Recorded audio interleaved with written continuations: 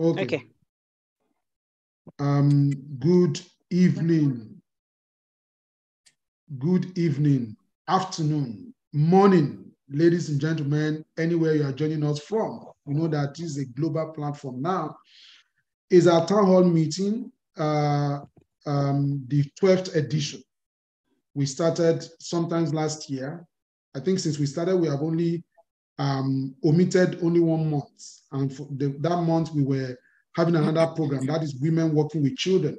We felt that we should not um, plug you with so many programs. So we decided to, uh, you know, not have that month. But every month, we have addressed diverse kinds of topics. Now, my guests today who are with me on this program is not their first time on the program. As a matter of fact, they are part and parcel of what we do. These are people that, um, you know, they are in the background sometimes, um, and they are doing a lot.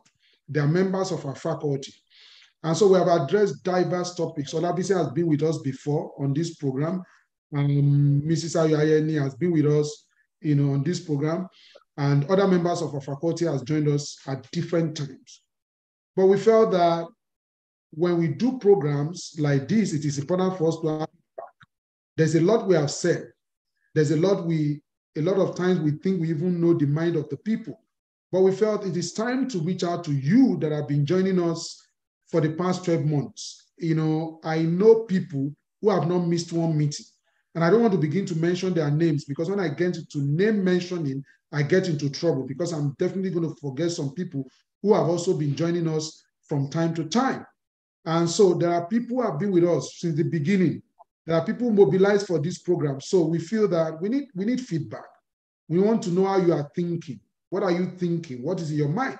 So we decided to call today open house, open house party, you know, and we want you to ask your questions.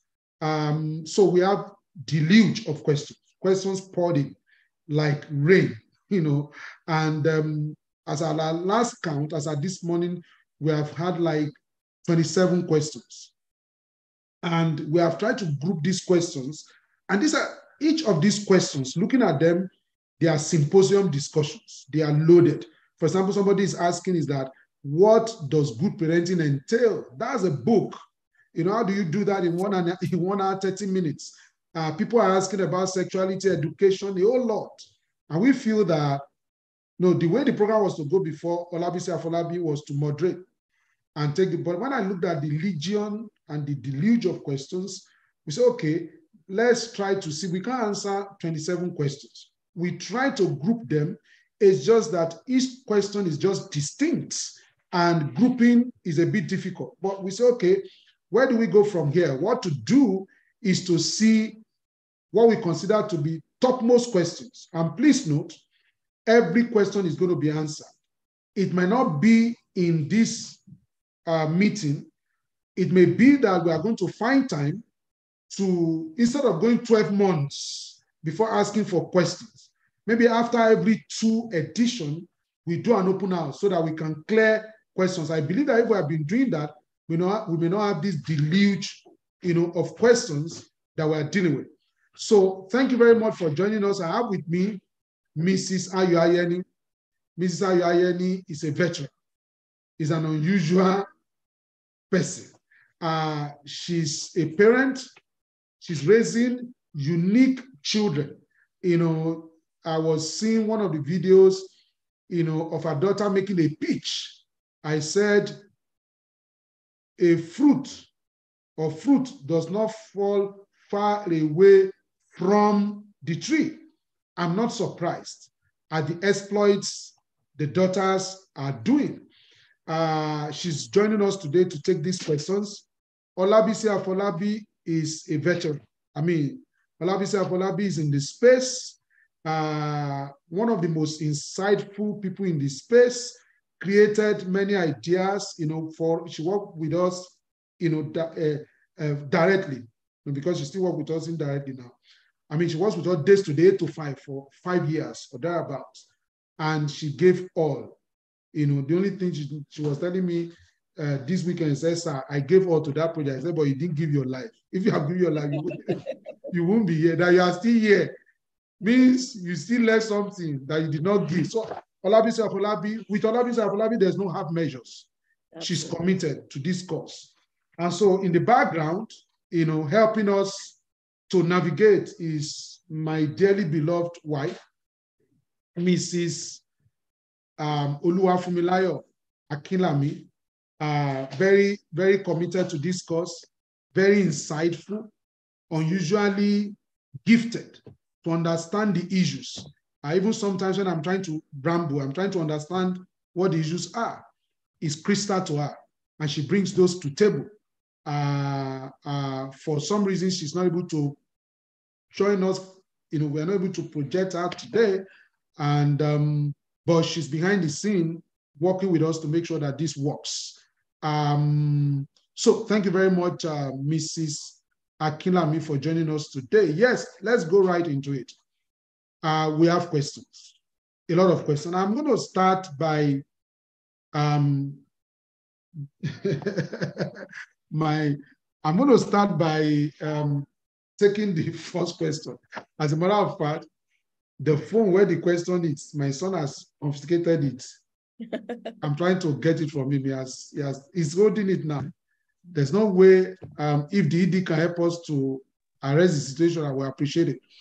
So, um, what do I do from now? Uh-huh. So, what do I do? Um, so, Ms. Olabisi, let's take some words of introduction from you. I will also do the same thing with Mrs. Ayoyeni. Then we take it from there. Thank you very much, ladies and gentlemen. Thank you so much for joining us today. We appreciate you. So Olabisi right. goes first. Good evening, sir. Good evening, Ms. Ayoyeni. Good evening to everyone watching. Good evening to the ED. Good evening to the team at the background. Um, first to say is that it's my utmost honor to be here. Um, I keep saying that I, I still do not know anyone as much as you know I've been in this work for a while now. I don't know many people who are, you know, holistic about child protection, passionate, and um, all around genuine about the interest of children without any ulterior motive. You know, working with you personally, sir, I've seen situations where you know it, it, comes to question where where your where priority or interest really stand is it for the children is it for gains is it for money and i see that time and time again even when it can be injurious to your um, yourself, your reputation. You, you, always take the stand for children, and um, for me, that has instructed me in more ways that uh, that I can imagine. And um, happy birthday in area, sir. you didn't send me this one. Um, thank you so much for um, all that you do for children. I think that the work that you do um, kind of you know sets the pace and makes us make us know that we cannot give up on the system. Because personally, you know, um, leading up to, the, to this program, having dealing with some cases that just make me made me you know want to say what this is what we're doing. You know there are a lot of bottlenecks a lot of issues with government a lot of issues with regulations a lot of issues with, with humans that are actually running you know protection for children. And um it looks like are we making progress? Do we take two steps forward and one step backward? But i realized that um in in, in a particular project when, when we are watering the field like this when we're actually doing our work regularly the only foreseeable consequences that will have some level of impact breaking through in different places. So um it, it, it's we're encouraged to do more. We're encouraged to keep having these conversations because i imagine that with conversations we are here now so I now imagine that without these conversations, I wonder, you know, the where the state of our children will be at the moment. So I appreciate this kind of conversations. I, I recognize that this is what we need at the moment, among amongst other things. And you know, this conversation sets the sets the pace for action. You know, it, it, it sets a a hunger in people, it makes them also see possibilities that, you know what, this interpretation thing is doable. It's not abstract. It's not out of the blues. We can all do it together, working together. So thank you very much for the platform. And uh, that's my opening speech for this um, program today. Thank you, sir. Labi Folabi cuts the picture of um, Naomi Campbell at the same time. at the same time, um, the last time I saw her, she was promoting natural African air. I don't know what happened. Abuja has a way of uh, causing trouble. Olabisi, we are watching you. So, Mrs. Ayoyeni, your opening, oh, ah, your opening remarks, please. Let's take your opening remarks. Well, good evening, everyone. Like, I mean, Olabisi has spoken, she has said everything in my heart, but I want to quickly add that it's always very humbling, you know, to be on platforms like this and be working with children is one of the most humbling things that I know because you are constantly racing against so many things. And because of the kind of world we live in, so even within the faculty, there's been a lot of apathy, you know, as Ms. Olabisi said, as to are we even making any progress? Is it even worth the work? the pressure, the burden is so much. It doesn't seem to be reducing, it seems to be getting worse. But as she said, I mean, we can't stop talking about it. Like we encourage ourselves, we will feel discouraged and then we encourage ourselves and we keep the conversations going. We cannot stop talking about it. We can't get tired, we can't give up. So these conversations are very precious to me as a person, and I am just humbled, you know, to be part of this. Thank you, Mr. Kinlan. Thank you so much. Um, I'll, I'll, ask my first question, and um, my first question will go to. Uh, there are four questions, you know, earmarked to be answered by Miss Olabisi Afolabi. So I, I, see four questions. Am I correct, uh, Miss Afolabi? I see four questions are marked for you here. So let me start with the first one, and I will appreciate that if we keep each response to like three minutes or whatever, so we can take as many questions as possible, just as much as possible, straight to the point. Please be yourself, illustrate when it is necessary. Let's bring to table because a lot of time illustration is the is the is the oil with which you know principles are eaten. You know, we're able to give illustration helps people to understand the issues better. Uh, so um, so um, the first question, how do we ensure that we are able to prevent and protect our precious children from all forms of abuse, child abuse? How do we ensure that we're able to protect our precious children from all forms of abuse? Um, thank you very much. All right, thank you very much, sir. Well, that question is a very, a very holistic one and a very broad one because that's all that we're about here, child protection. How do we achieve it? Well, I'll say that there are many, um, many parts to this and there are many factions to this. And um, every faction, every I think entire Wakinlami faculty, we usually call it um, the four rings of protection, people that are involved in this thing. So how do we achieve protection is that all the four rings work together to achieve protection. Now, so we need to know the four rings, we need to know what their roles are. So it simply means that if everybody plays their role, we are going to be good. Now, how do we even know our role? That is awareness, that is that is empowerment, conversations like this, you know, when we all know what to do in the first place. Now, what, what are the four rings? We talk about the family, talk about the community, we talk about um, the government, the state, we talk about international community. So the family, you know, first of all, um, has a duty to inculcate positive value system in children.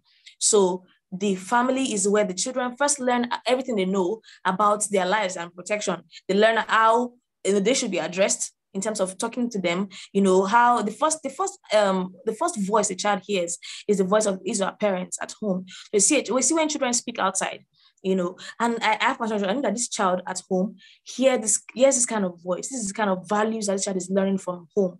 So protection is not an exception.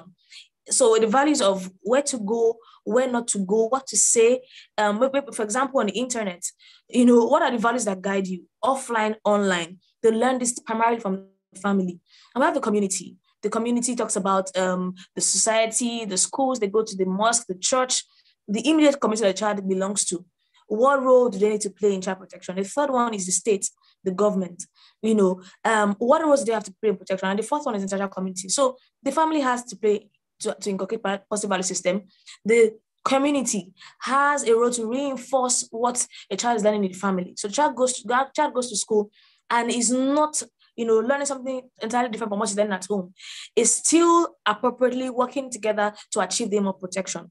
The, the government works to create not just um, not just policies, create policies, create laws, see that they are enforced, you know, not hypocritical enforcement. You know, for example, I, I walk on the street of Lagos and I see children on the street of Lagos, like apparent flagrant abuse. Children are they're, con- they're doing conductor work, they are on the road, they are sitting, you see some of them begging and what is the um what, what, what is the commitment to see those kind of children off the street? Because sometimes, you know, we have this privileged conversation with parents, with schools, you know, keep children safe, this and that. But these are children who are on the streets where there's no level of where, where is the connection? Where is the hope for them? You know, in this conversation, what I think government should do, play their role in seeing that every child, the common child, wherever they are, can get protection. And lastly, national communities, they create, you know, even superior policies and support the state. So if the family plays their role by getting empowerment, by knowing that children have rights, they are persons, there's a way they should be treated,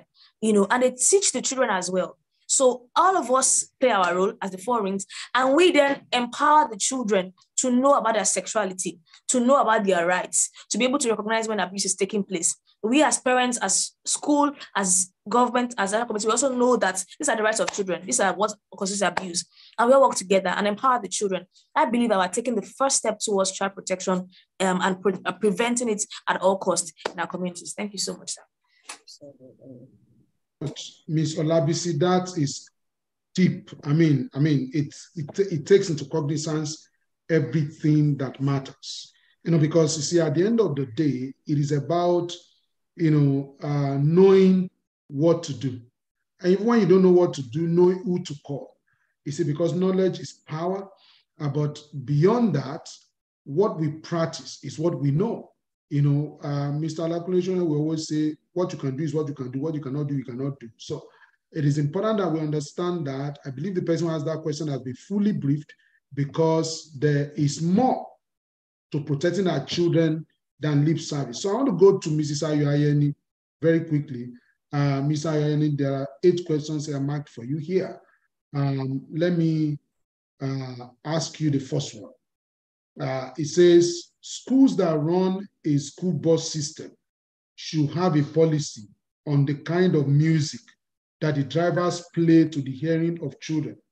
What is the solution to the continuous breach of a duty of care by school? So, I mean, I think these questions are two in one.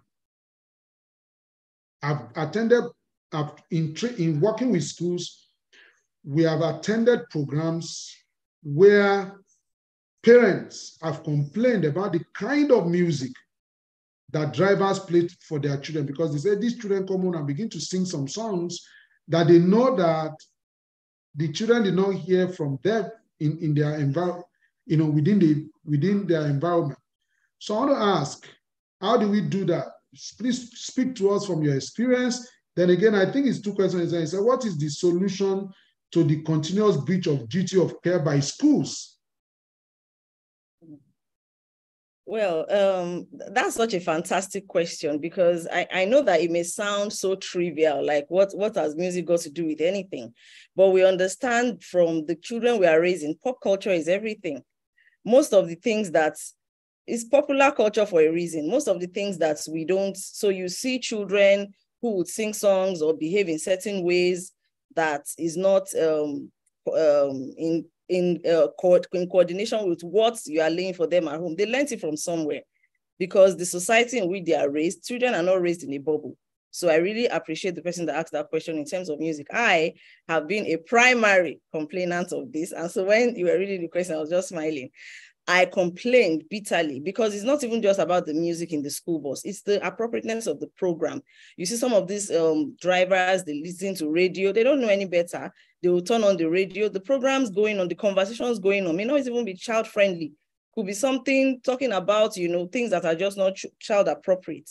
So I personally have had this conversation with my with my uh, my children's school. I've had to pull them out of the school bus. It cost me tears and blood because school runs is not for the faint-hearted.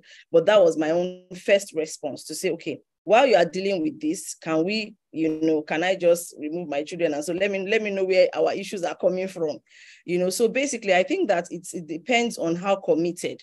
So um, uh, Ms. Olabisi was talking about, you know, the value system of the home. It depends on how committed we are to these things. Do we even see it as a big deal?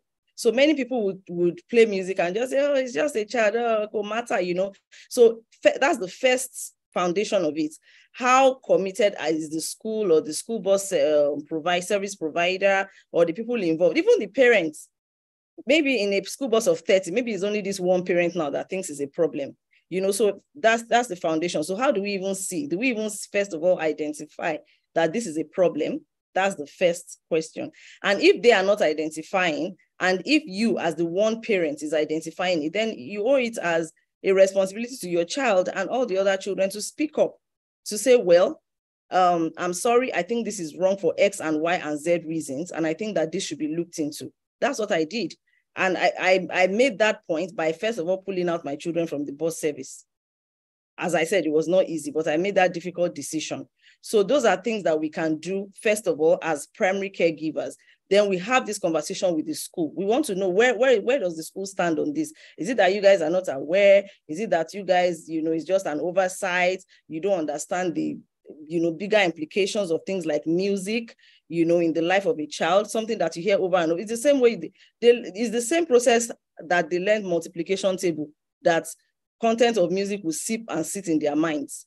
All of us learn multiplication table by reciting it, by hearing it every single day. And we know it by heart now. Without thinking, we know it. That's exactly the same method or the same impact that music. And we all know the, you know, the content of the music that is in circulation in our society you know so it's important that first of all we start from our value systems so we start from helping our children to even be uh, to to be able to identify what is is this content even good or bad? Is this good content or bad content?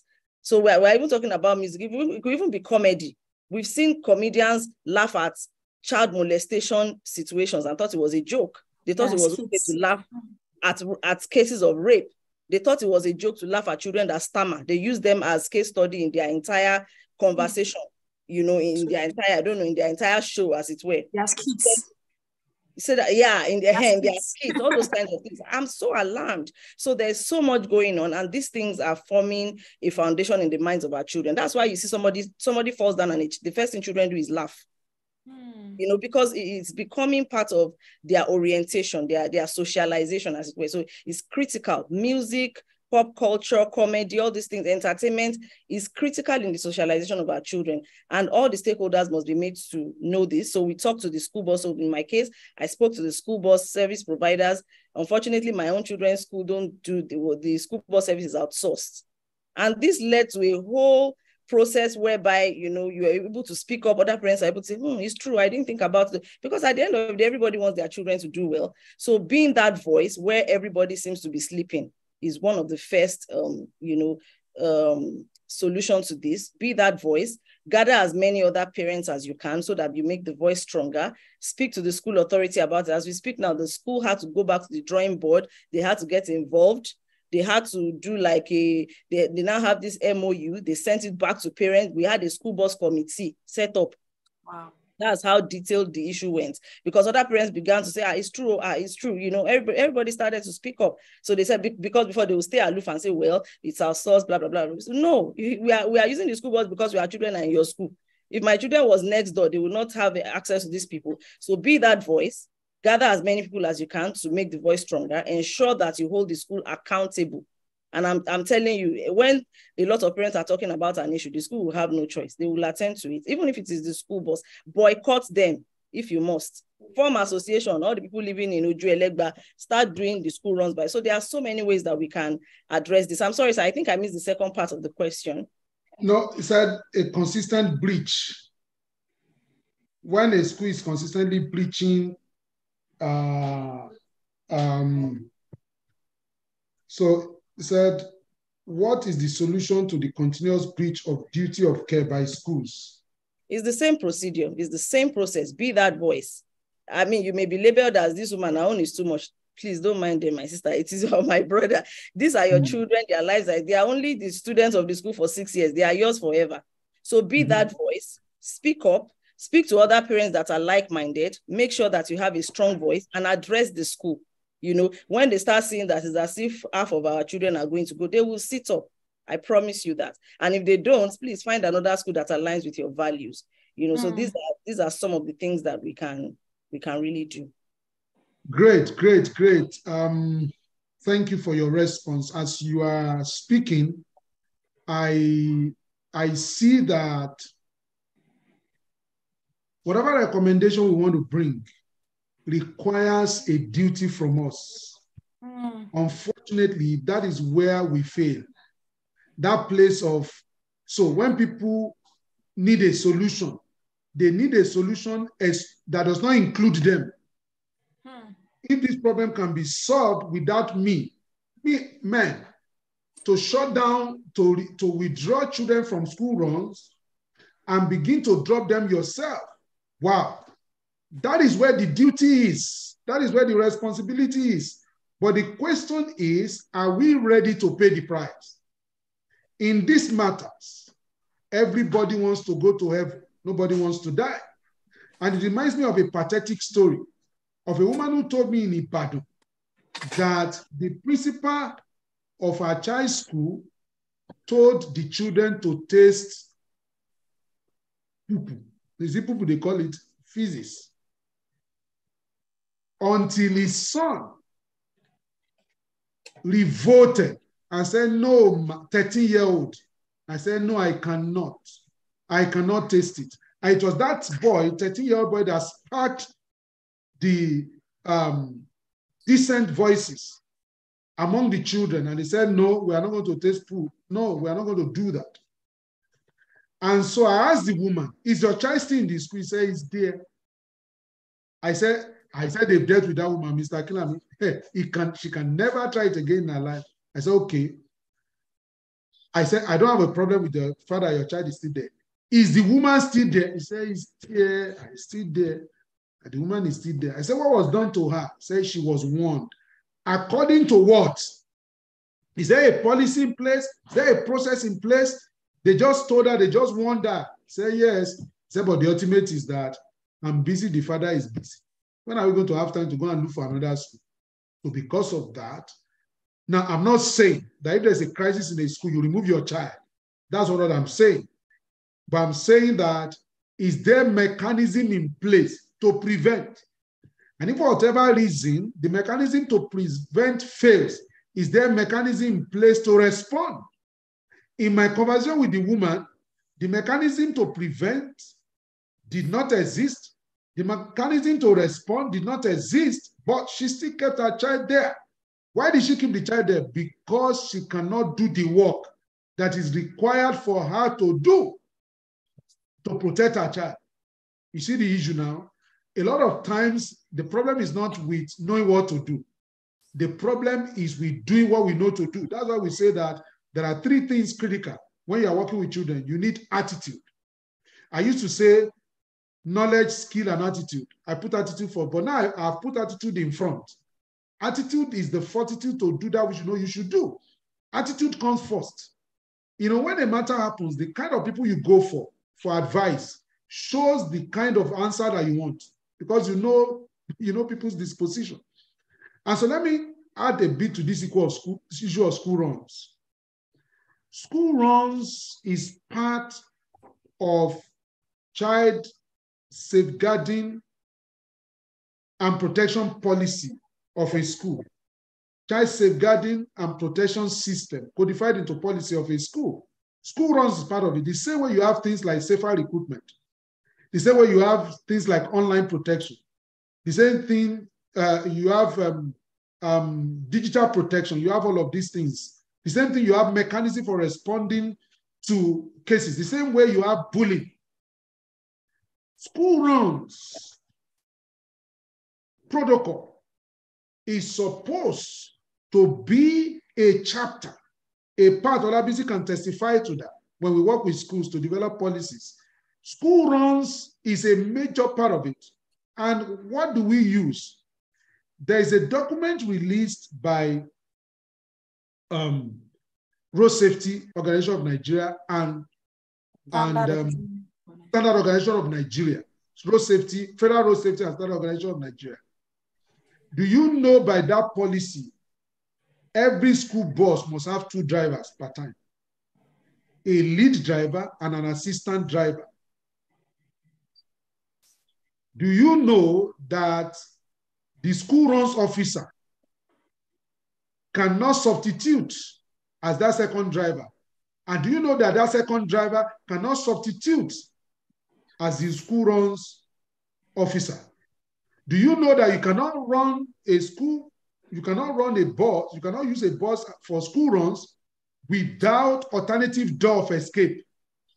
Any bus that has only one door cannot be used. There has to be double doors. One is permanently shut because of safety. The other one is open. In case there is an emergency, which we call lack of coping, copy, sorry, which we call lack, lack of coping capacity. In case there's emergency, you're able to open that other door and children are able to go out. You can, as a matter of fact, you cannot use a bus to do school runs without double doors. But how many schools that you know, and how many school buses that you know has those double doors? How many? People use Coaster. Does Coaster have double doors? Where is the, as a matter of fact, when it comes to children, for example, church buildings, school buildings, do you know that if you want, to, there has to be another door, exit door, emergency door. The same way it must happen in the, it must be in the bus, it must be in the classrooms. And it cannot be in the classroom, it must be on the doorway. That if children come out, if you do uh, what we call um, um, if you if you do if you do um, what do you call this now? If you if you do if you call out children, if you do what did you call um, drill? Drill, yes. If you do a drill, when children come out, people cannot. The more entrances, the more exits that they have to go out, the better. Any building that is what is named in today's world pays attention to possibility of exit in the case of emergency. So these are realities that we need to know. And these are realities that we need to bring to the table. Let me tell you something. The unfortunate thing that we are dealing with today is that these things that we are talking about, many schools don't know, parents don't know. And so it's a free fall, all all fall. And so it is important, therefore, that we pay attention to details. The devil, in the issue of child protection, I continue to say, the devil is in the details that we neglect because those details always stare us in the face. If a school continues to flout, to flout duty of care, you warn, you relate, you talk. What they are telling you is that we are not worthy of your children. But the question is, are you ready to go that to go that route? Are you ready to even challenge what you believe to be wrong? Um, till last week, we were challenging things. Olabisi brought a case to my attention. Olabisi was one handling that case. We were challenging status quo. Do you know status quo did not see what we saw? We're dealing with emergency. Status quo said we should go and wait till tomorrow. Olabisi called me. I said, Olabisi, but you know we can't. He said, I know, sir. We can't wait till tomorrow. But status quo is an highly placed, highly placed, we are talking about highly placed organizations who we believe should know better. But they were telling us to hold on. But we knew when it comes to child protection, time is of the essence. Prevention is more better than cure. Now, when there's a case, the early response is the way to go. But that night, Olabisi did not go to bed. We began to make calls. We began to finally we were able to get a response that night. Why were, why were we able to get response? Because we know better. Because we are committed to the cause of these children. So, because status quo says tomorrow we'll discuss it. We can't pressure status quo. Status quo is set. Status quo is a system. You can't pressure them. When you pressure them, they will switch on their phone. When you can't reach them again, you will, you will go and sleep. But like, till like Olabisi's 2 a.m., which was my, you know, that we're still talking till late in the night and we were able to get help. After getting help for the woman, status showed up, started pressuring the woman to give up her case. She give up the case. And status quo has surrendered her with all the paraphernalia that we encouraged her to give up her case. Then we said, We are going to reach out to people who are not for status quo. We are going to call them. Olabisi put the call through. After five minutes, she called me and said, Sir, ha, it's the same. Oh. Even the people that were supposed to be against status quo, they are saying that, they are saying this, they are saying this, they are saying that. I say, wow, what do we do? I said, I suspected it. When the people that are trained to defend the children are the same people who are hobnobbing with those who are oppressing the children. It's a major issue, my people.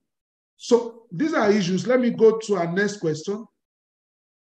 And our next question is going to be going to Miss Olabisi. Uh, the next question says, not all schools have a child safeguarding and protection policy in place. What is the solution to this? Wow. Um, thank you so much, sir. You know, um, on this particular issue, um, I feel like I was talking to a friend recently about this issue of, of safety in schools. And they were like, okay, you know what? They feel like this issue has not been very well announced.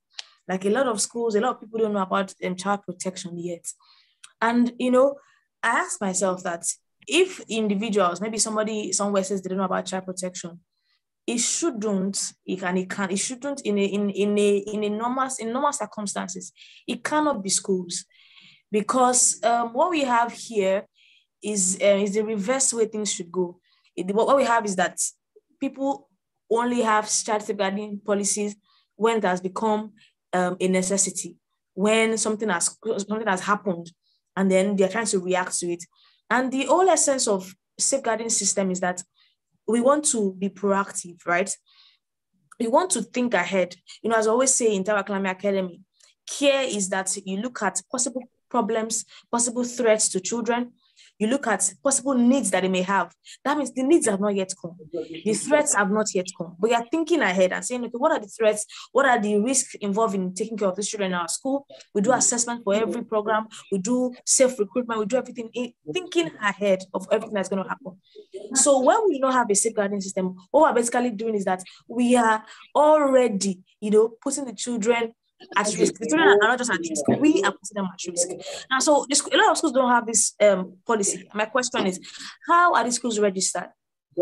Are these schools, are, are, are they existing? Are they operating in oblivion?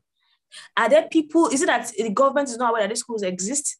We have a record of about 18,000 second um, private schools in Lagos, for example, including public schools on that, which is another, another side of the story right? So this um, private schools, what, what, what's, what's the regulation for them? What's the regulatory process? What's the process of onboarding? How do you set up a school in Lagos? How do you start the school? You know, we shouldn't be having these conversations at this point that the school does not have a safeguarding policy. It should not be the case because that should be a major, major, major um, major criteria for you to start a school in the first place because it's not possible for there to be a school and there will be no incidences things will happen because we're dealing with children, dealing with people. So to to forestall that and to respond to that ahead, there has to be a policy. So one of the regulatory documents we should have before running a school in Nigeria, in Lagos State, everywhere we are, it should be having a safeguarding system. So uh, our, our, our, question is that we need to go back to the drawing board as a regulatory body, as government, to see that every school in Lagos State, what exists right now, there's a child protection policy for Lagos State was in 2016. What how is it being run in various schools? Well, are we checking? Who is checking? Who is in charge? So somebody needs to be in charge. A body needs to go around and ensure that people really have preparation policy. Another aspect of this, as I said before, all hands have to be on deck. Now, parents register their children in school every blessed day.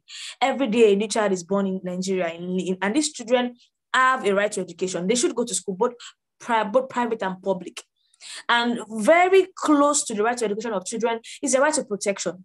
Because a child that goes to a school where there's no protection uh, literally does not have a right to education because education cannot take place effectively in that, that, that kind of environment. So two rights have been denied, right to protection, right to education. So as a parent, when, we're our children in school, we need to ask questions, very important questions. What do you have a safeguarding structure in your school? When you go there yourself, you look at the culture, how do, how you talk to other staff? I've been to a school in Lagos State where to go and train somewhere. And I remember going with Mr. Ayayene and I told him, Mr.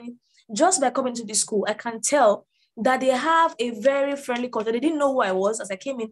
Somebody greeted me so warmly. I saw how they interacted with each other. It was a warm environment. You, you could tell that here there's care, there's nurturing, right? So you, when you go enroll your child in a school, ask questions. Do you have a policy? Are your, are your staff trained on this policy? Do you know about it? How does it work? where is it where is it located? Where is it? Can i see it? Then you check the culture yourself. Ask questions from other parents that have their children in the school. So because sometimes i you know when things happen I'm go on social media i see comments like millions of thousands of comments. And i'm like everybody on this comment section that children are in schools. Do you do your children do the school have child policies so as mr Akinlami said we all have to play our role so what solution to this? Solution is that there has to be a regulation because we cannot depend on people's goodwill to do the to do the right thing. I can't just hope that the schools will have a policy. And if they don't have it, it's fine. You know, that's a regulation, that's be checked, that's be enforcement, that's be somebody going around the schools from time to time, as be updated, somebody that are reporting to a place that we can check. Number two is that parents have to, you know, check these things themselves. Why, why you don't see that? Don't enroll your child. We are, we are the customers in fact, we're enablers when we see these things and turn a blind eye to it. So that's how I'll be saying for now. Um, we cannot just leave this to chance. We can't leave this to goodwill of people. We need to take, need to take actions regulatory wise. Also, parents need to play the role in ensuring that no child goes to a school where there's no safeguarding system. Thank you, sir. Good. Thank you very much, uh, Ms. Olabisi. So when you look at, um, and thank you for doing exceptional justice to that question. Now, let me take it from there when you look at when I went to school, I turned 53 yesterday. So I went to school many years ago. When I, I, was, I went to public primary school, public secondary school, public university. I went to Lagos State University. My school fees throughout when I graduated was 99. And we had a law library to ourselves. You know, that same school became 250,000 at a time in Lagos State. So that's the school I went to. And um, so the government was responsible for my education to a very large extent. There was no way I could have gone to school with the kind of um, you know finances that my parents had if schools were like this today, where you have to give an arm and a leg for you to be able to send children to school. There was no way my father was going to be able to afford it. And so I went to school. Note that the role of government in school is to fund and to regulate. So now today, those schools that I went to, hmm. they still exist, but the population has increased. Hmm. But because population has increased and government has not grown with the population in terms of building infrastructure. So as of today, we have 13.5 million Nigerian, no, as according to according to UNESCO, now it's 18 point something million Nigerian out of Nigerian children out of school. I have predicted even if an angel becomes the president of Nigeria tomorrow, we have to, if we are going to return 18, 18.5 million children to school, we have to find another way. It cannot be brick and mortar. There has to be another way by which we want to accelerate because the destiny of those 18 million cannot wait. Hmm. They keep increasing. There has to be something beyond brick and mortar that will deliver education to these children. You know, because that's the way to be looking at it. But let me focus on the issue we are discussing, which is child protection system within the school system. So now we have a situation where school government plays the role of regulation, government plays the role of um, funding. Uh, of funding. That funding part, government has dropped the ball all over Nigeria. Drop the ball.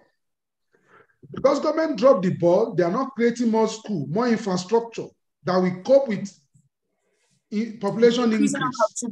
Mm. Private school sprang up.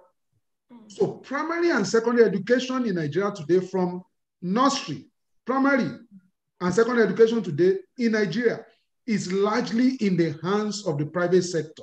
Very well, sir. The fact that that has happened is a failure. Mm, mm. It's a proof of a failure of the state in living up to its duty. Population increment did not fall upon us like a thief in the night. It's a lack of planning. So now, an organization plays two roles, funding and regulation. They've dropped the ball in funding. We've seen it. So private schools began to spring up. So we took our children to private schools, those of us who can afford it. Those who can now afford it are the 18.5 million that our children are out of school. Now, those of us who can afford private school, we took our children there. And I want you to believe that private school has levels grade one, grade B, grade C, grade D, grades of private school. So even those who are in public school, we are not sure of the kind of education they are receiving. Mm. Now, those who are also in the private school, we are not sure to a very large extent. So now there are private schools that have stood out in all of this. But this is the point I want to make to you if you are listening to me. Since government, the same government that has two legs, one leg is for funding, another leg is for regulation. That leg that is for funding has withered away for many years now. So the government is working with one leg of regulation. You now trust them to use that one leg that is left to do well in private school. Private schools is a reflection of their failure. Private schools should exist, but it should not exist as an alternative hmm. to public schools. It should be that those who want luxury, who want a type of ambience, will take their children to private school for whatever they are looking for them. It cannot be because we're in private school because there's no public school. That is what is happening in Nigeria. So if you now become the regulatory, if the regulatory body has failed in funding, has created private school, you as the parent, you must become the regulators of the private school. You must become the regulators of the private school. That is why you must ask questions. Where is your child protection system codified into policy, broken down into processes on which everybody within the school system is trained? Where is it? Want to see it? When was it drafted? Which consultant supported you to draft it? When was it reviewed? Are your staff trained? Because training, let me tell you something, is the soul of child protection system. Training is the soul is the most critical, really. You create system, you create processes, you create all of that. What about attitude? Attitude is the reason why people have policy, they don't use it. Hmm. Attitude is the reason why policy is there, but they still go and do contrary to the policy. It's not enough for you to have policy.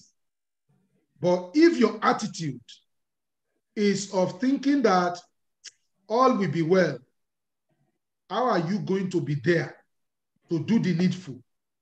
You don't need to see threat coming. You just need to do the needful. You know? So basically, in a, that's in addition to what, so the bulk agitation, when we talk about these issues, we tell government, those who come to equity must come with clients. You can't be telling school about child protection policy and all of that, and none of your school has. Yes. Yes. And your schools don't have. So you must go, go and fix your school. That is where you have a good place to stand and say, oh yeah, Schools should do their own. Then we as parents, we have a responsibility because the devil is always in the details. You must insist. Please, I want to see your child protection system codified into policy, broken down into processes on which everybody is trained and is done, you know, uh, uh, periodically. There's a trip that schools were trying to make when we looked at their risk analysis, we insisted the children cannot make this trip. The, this, the trip, they are not ready. Thank God they listened to us. A lot of issues also happened, but the children did not end up making the trip. It's a blessing in disguise because once all this analysis is not sure, and let me give you a quick example. You want to take children out of this country. With what we now know, you can't take children out of this country to a hotel that does not have child protection system codified into policy, broken down into processes on which everybody is trained, does the hotel have the habit of hosting children? When they host children, how do they function? What is their disposition towards children? You can't just take children to a hotel and say, uh, uh, it's a hotel that we want to use. these are fundamental issues that you know we don't normally look at. But when schools engage us, we take a look at your risk analysis. We give you a, a, a, a we tell you these are the things that are possible, these are the things that are not possible. You know, I'll ask the next question. Obviously took the last question, so I go to Mrs. Ayayeni. Uh, what does the term proper parenting entail? Mr. Ayayeni, the term proper parenting, what does it entail? oh my goodness. Um, so let me let me let me join with the next question because it's like they're together. He said, How do parents go about acquiring the appropriate knowledge, skill, and attitude needed to ensure the child protection of children? Well, I, I think the, the second question is a, is a good addendum to the first one because that's the first thing you do. You go ahead and acquire the skill, first of all. Like Mr. Um, uh, Mr. Olakunle, uh, will say, he will say that you can sincerely go to jail. Like you, you can't do things out of the sincerity of your heart, you know, and that's one. Another thing I learned from him is that you don't um, wish things into existence. So he would say, you can't become a lawyer and say, oh, I just love this law profession so badly. And then you sleep and wake up and God will say, ah, this girl loves law so much. Let me just confer on, on her law or being a lawyer or being a barrister. If other things in life don't happen that way, it's very foolhardy for us as parents to just assume that we will give birth to children and then we will become experts at parenting. Everything requires getting knowledge. So the person that asked the second question, I thank you because is like the answer to the first one. And there is no there is no i don't know that there is like a general proper parenting but there is principles that applies to everything. And the first is get knowledge. Like we cannot even, we can't even jump that um, phase. I was at a position in my life where I, I told myself that you need to go and find this knowledge wherever it is, find it. And and um, God kind of directs the desires of our hearts because by pure chance, somehow I met Mr. Akinlami, I met people like Prince Fowowe, I met people like um, uh, Mr. Olakunle Shorinyo, and by extension, I met people like um, Mrs. Akinlami as well.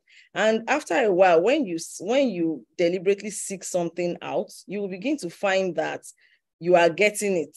You know, I, I don't know who uses this analogy that if you really like Range Rover, somehow you will begin to see Range Rover everywhere. It's a, it's a game of mind.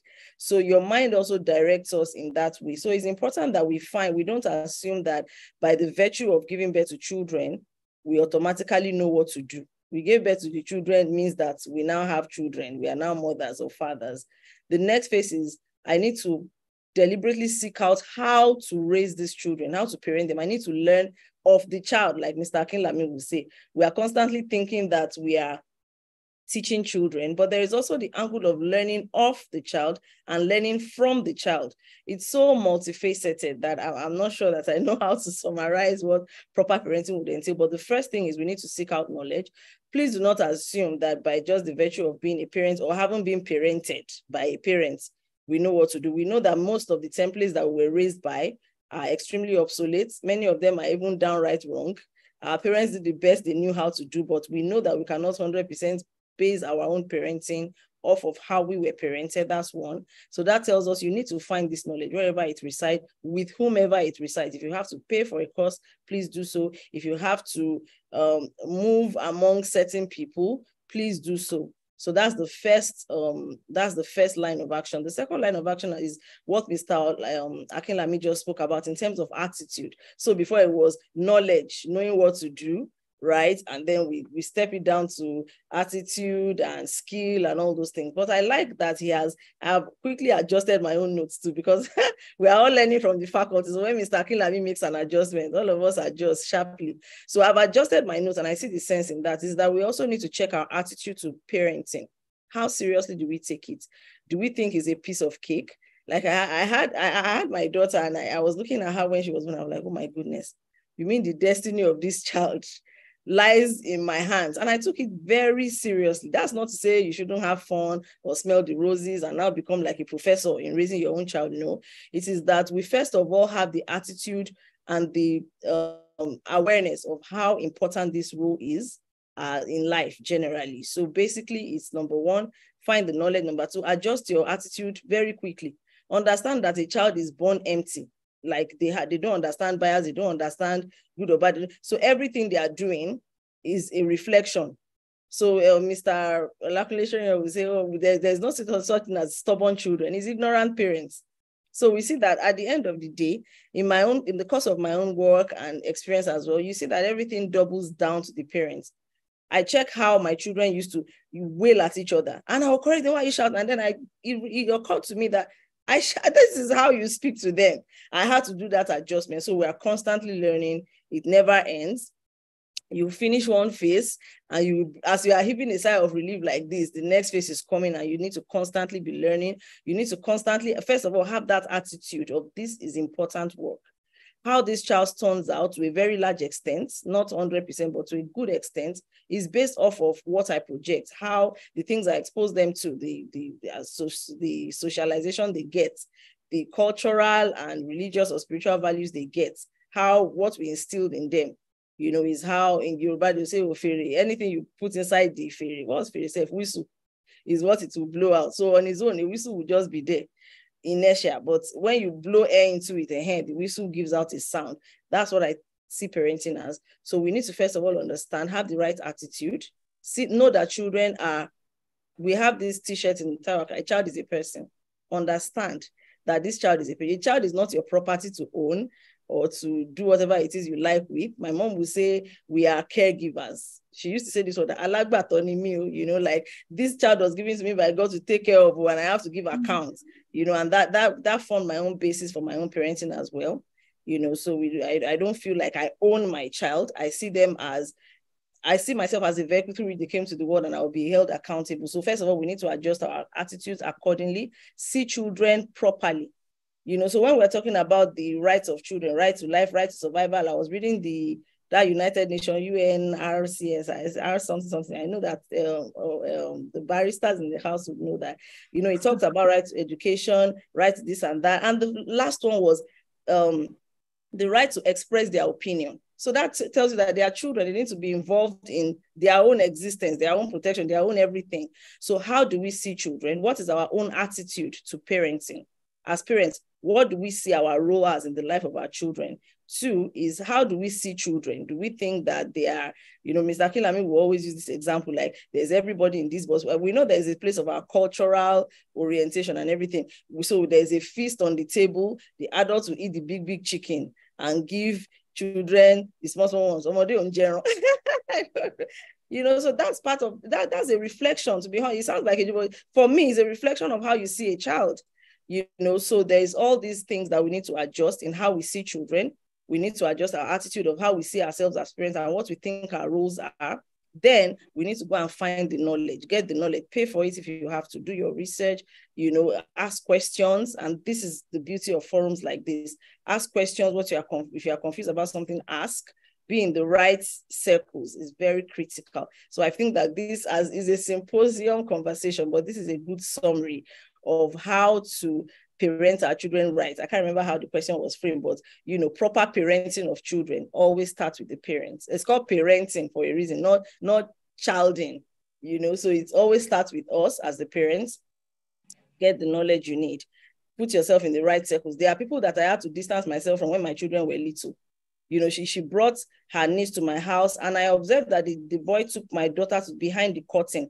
And my daughter came out with this very funny expression and said, why did you go to behind the curtains, you should play here. I knew that, you know, something had happened. Perhaps he tried to, you know, touch her in an inappropriate that she didn't understand. You can always tell the body language. And this lady said, oh, they are just children now. Why are you being hard? You know, she, she was giving the impression that I was maybe picking on her, her or anything. And I already knew that this is not my circle, you know, so those kinds of things, we need to be very aware of them. We need to position ourselves properly as parents, get the knowledge because we have children does not mean we know how to raise them you know, I, I, I made some payments, I made a lot of sacrifices, get the knowledge, the attitude is very important.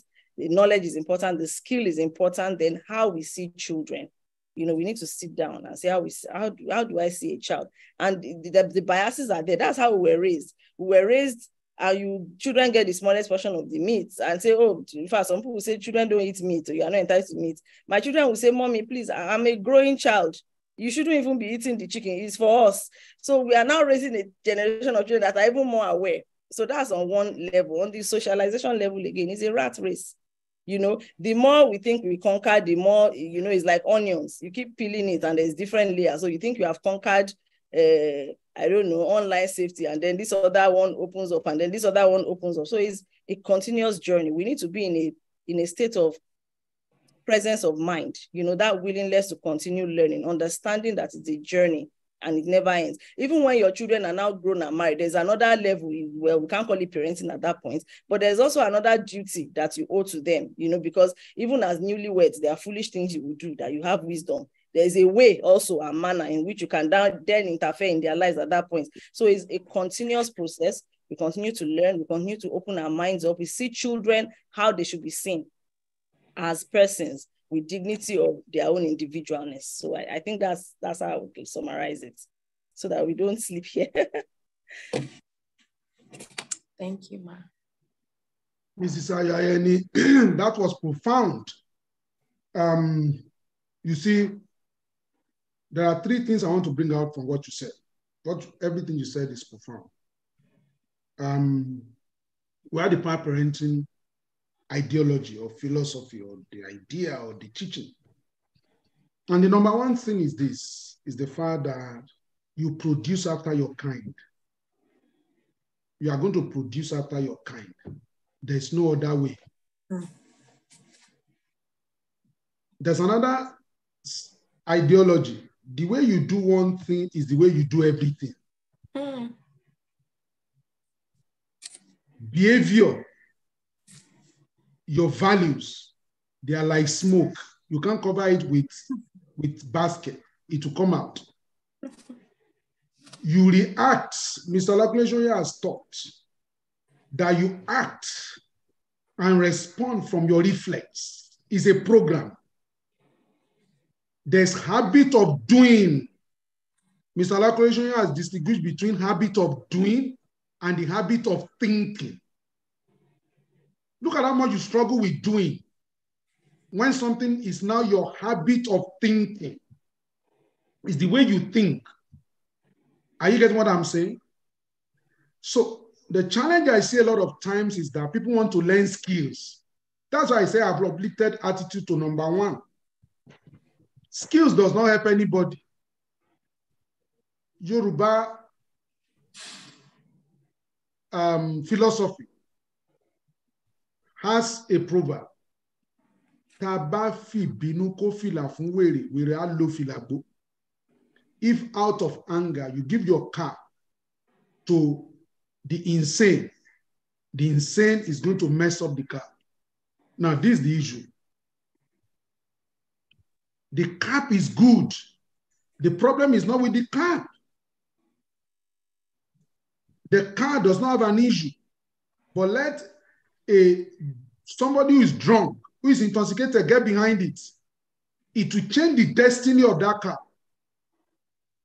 Though the car is perfect, but because the person who is driving it already has problem, is not in a good shape to drive it, there's a problem.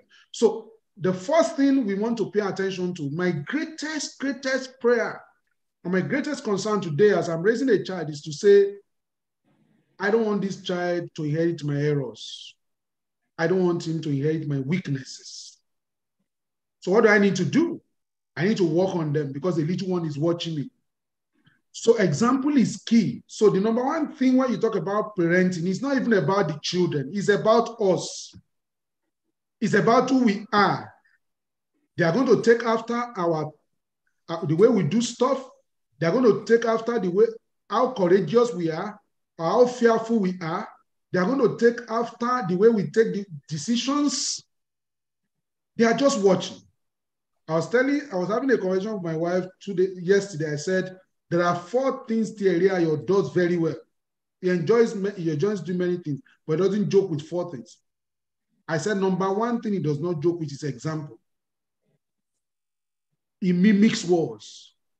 He mimics attitude he mimics, if, if I put your hand on your head, you see him also putting his hand if you are doing, you are, you are, you are, you are, you know, shuffling, you are trying to dance. You see him also, you know, doing it. And he's been doing that for a while. He follows example.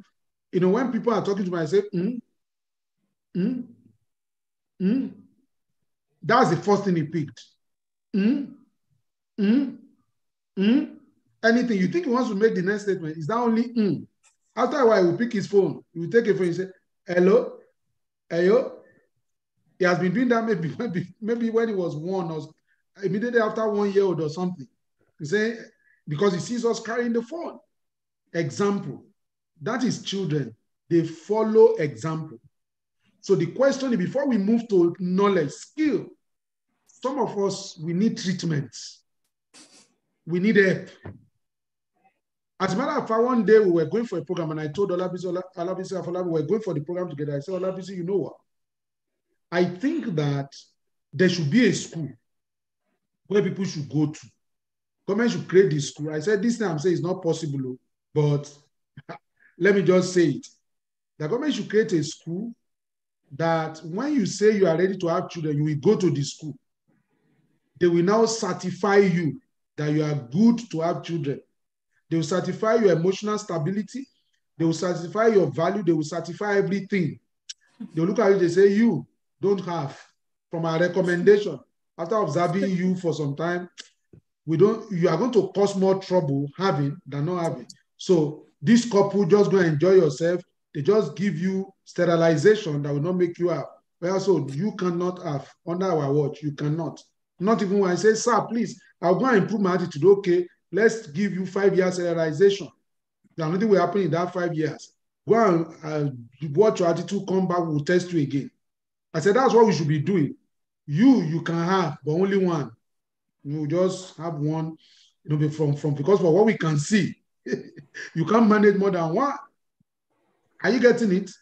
So the truth of the matter is that childbearing is not regulated to the extent that who can have children. You know, it's not regulated.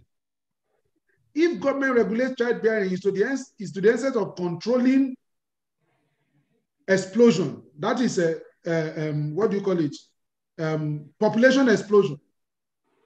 I saw a documentary this weekend. I think I saw the documentary yesterday or day before yesterday of a boy that was that did not know his father, sexually molested, messed up, wandered about until he got to a place where he found somebody who said he has founded a religion because he was charismatic. They handed over leadership to him. This man built a massive kingdom. The, the American state one day wanted to go and arrest him. They met where they did not expect. In a shootout with his group, he said he's the Messiah. He said he's the new Messiah. Funny enough, he was also 33 years old when all of that was happening. He was the new Messiah now. He held that place down. He killed four police officers, federal officers, on duty. His group, oh, they now injured 12. The government called for ceasefire. They negotiated with him for 51 days before finally, you know, government has to gas the place, thinking that they will come out. You know, these people did not come out. Over 80 people died that day, apart from people that were rescued. That is what childhood can do. So, who were the people who killed those people that day? Now, you would think it's the man. No, it is the upbringing that messed him up. Looking for attention, asking for validation. That validation, he did not get it because he would say, okay, I will release everybody in three days. Just put me on national TV. They put him on national TV. I want every TV in America to carry me, including TBN. They begged TBN. They put his message there. They played it finish. He said no. That he wants to write the interpretation of the book of Revelation. That until he finished, he can't release anybody. 51 days. Because the guy, his attention is, is, is what he was stabbed off as a child. That was what he was looking for as an adult.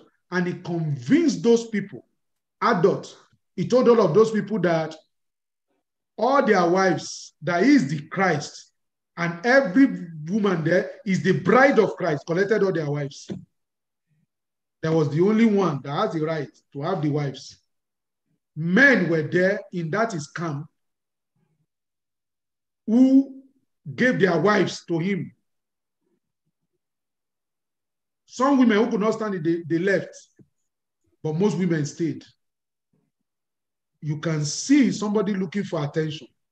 You can see somebody who is sick of uh, uh, uh, acceptance because love to children means appreciation and attention. So I want to charge us, in addition to what Mrs. Uh, has said, the most important thing is you. Who are you? You are going to produce after your kind. You are going to produce your fear. You are going to produce your intimidation. You are going to produce your prejudices. You are going to produce everything. Whatever you don't like in your child today, you are the one who put it there. And when you are tired, you are the one that will remove it there. So we spent one hour, 16 minutes or there, but I'm going to take one more questions from one from Olabisi, one from Isaiah, and then we'll round up. Then we'll let you know how we're going to continue to answer, you know, all of these questions. So I go to Olabisi now. Uh, Olabisi, your next question, are you there? Um, Very Yes, your next question says, um, our children will continually be exposed to negative effects of the media today. How do we combat this as parents? Hmm. Okay, let me let me add another question so that you can just take. How do stakeholders ensure that response system are made accessible to even the common man when cases of abuse arise? You know, that's what we're dealing with this week. When the yes. common man is involved. Yes. Yeah. All right, so, so the first question is that our children will always be exposed to negative media influence. Yes, what do um, we do? Um, what do we do? So, um, you know, I, I recently shot a video which I have not yet published, and the funny thing is that you know, society, our, our our reaction to children when they do things that are wrong, is one of judgment and one of um one of pointing fingers. But I, I, what I always say is that children did not raise themselves. You know, society raised children all of us, we, we, parented them to where they are right now, including, you know, adults on social media. You know, social media has things put on there by many adults, many people. Social media is just a, is just a, um, it's just a conduit. It's a, as, as, as it is called, it's a medium, right? That is used by people, both old and young, to pass information across. So um, this, we have to go to the root of the issue. How is negative media, negative information, how is it generated? It is generated by people, by adults, by young people. Young people who learn from adults, adults who learn from some other adults when they were young, and the cycle keep, keeps keeps continuing. So um, two things that we must do. First is that every one of us, we must be responsible in, to the extent that um, we begin to look at the quality of our values, the quality of things that we consider to be fun, consider to be good enough to post online. Because the truth is that um, you know, there are age limits on social media. There's um 12, 13 for Facebook, 16 for WhatsApp, 16 for Instagram.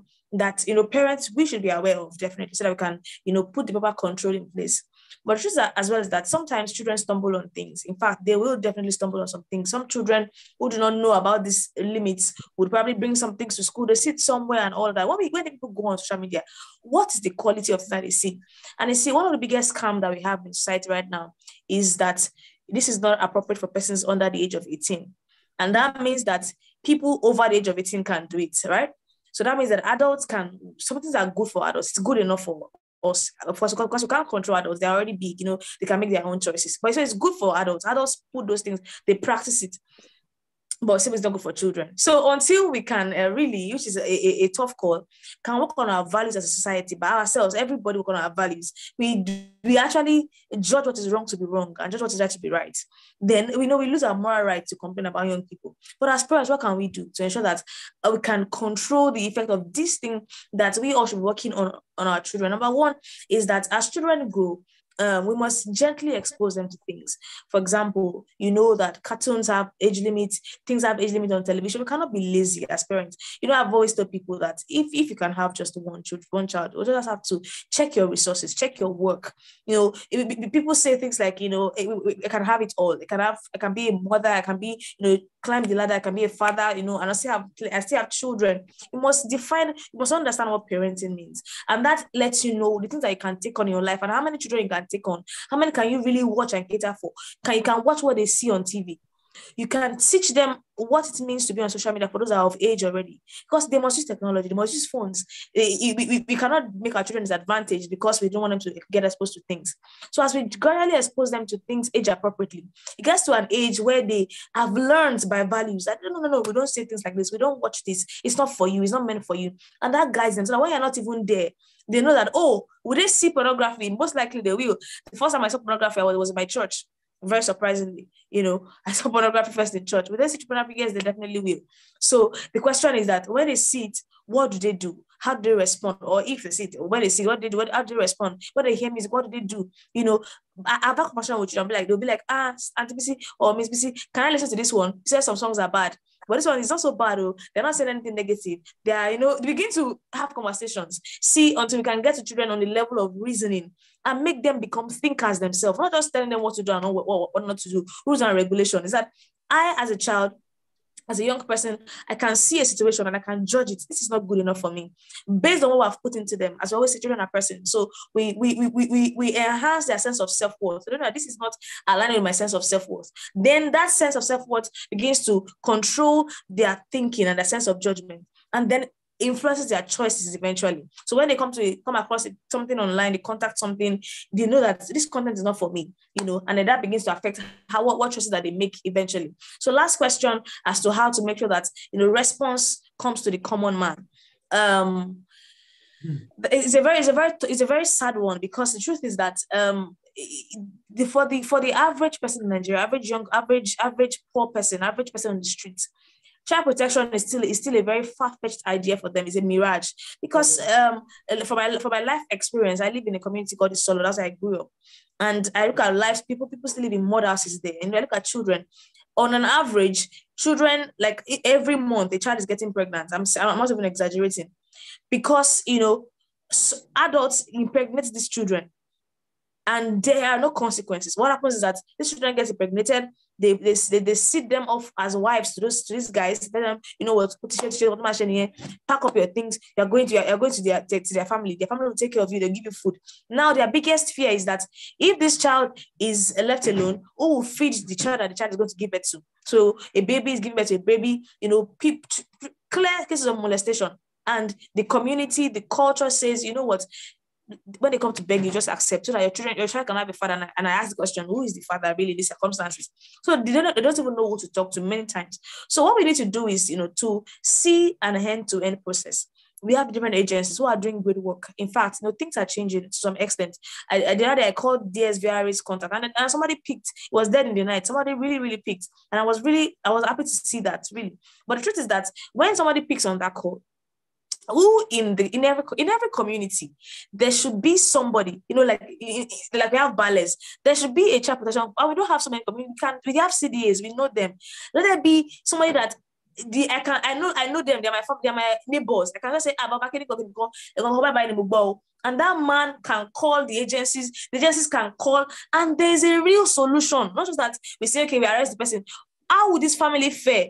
What would happen to them? So the truth is that the state of the nation um, the poverty issues, issues of commitment, the political will to see that things are done. I'm not just talking about people just arguing over things during elections. I'm talking about seeing that we um, elect people that can ensure that things are done for the common man, so that when there's a problem of protection, there's an issue, you know, both preventive, both responsive, there is an, you know, a, a system that works from the from that person on the street, from that common man to the government. They can talk to somebody. That person calls the next person. That person calls, and there's response at all levels. And the issue of attitude is a very deep one because when you go and report the matter to the police, and police says, ah, kí ni wọn as a child, you not and there's nobody actually, you know, nobody standing for what is right. Police is, you know, they, they, they hear issues and they, they culture, they make it a cultural issue, and they, they, they ask somebody to come and settle, as if they are they are a settlement party the mediation center, and they say, you know what, settle. After they settle, everything ends there. Where's the attitude to see what is right? And people we do trainings every time. People they train police, they train judges, they train people, they train everybody. Honestly, we need to begin to implement what we have been trained on, what we have heard, we begin to use it so that when the common man goes to police station and say this happened to me, he can find help. When he goes to talk to somebody in the community, he can find help. So really, it's holistic, and it happens by creating systems even in the community, there can be a community child protection um, system. We are, we think we did one for SOS Village one time in, in, in, in community, which will be implemented. Everybody knows about it. In the way we put road stickers around, put it there. So your child is molested, you know, uh, put it in different languages. Call this number. Let people let's let's do let's really really do this work so that everybody can actually feel the impact. Thank you very much. Sir.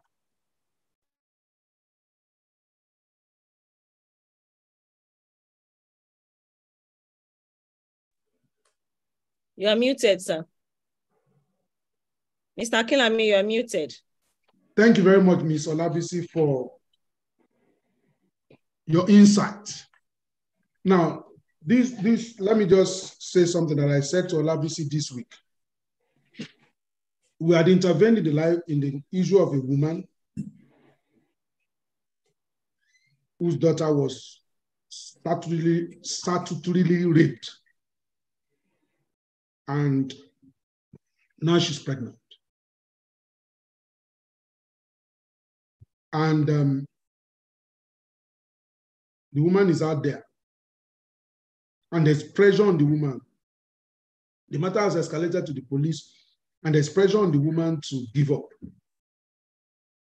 You know, and um, Olabisi told me, I said, yeah, she's going to give up because the system has designed her to give up. Ideally, what should happen is that that woman should be relocated out of that place to another place with her daughter. But the question is that resources to do it, is it available at the level of the state? Is the state going to make that money available? You know, so poverty is a major issue. When a person, the reason why someone will not even complain that the children have been abused is because they look at it. When I complain now, what's next? Are they going to, if they even say they want to fight for me, what's next? So the child who who's the mother who the mother cried out that they sent away from school because she used the exercise to, to use the poster of a particular political party to write her exercise book. Do you know that that child now has been reinstated? But thugs we're going to harass the parents for reporting the matter. You see? And they were warning the parents. The parents must make sure nothing happens to that principal who allegedly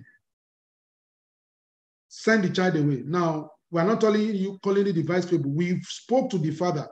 We have his phone number. We called him. We spoke to him. He told us this thing by himself. Not that we read it in the newspaper. I'm telling you first-hand report. We have to escalate again to Child Protection Network, and it's okay, they are doing their bits about that. So poverty is a major issue. It needs to be addressed. That cannot be overemphasized.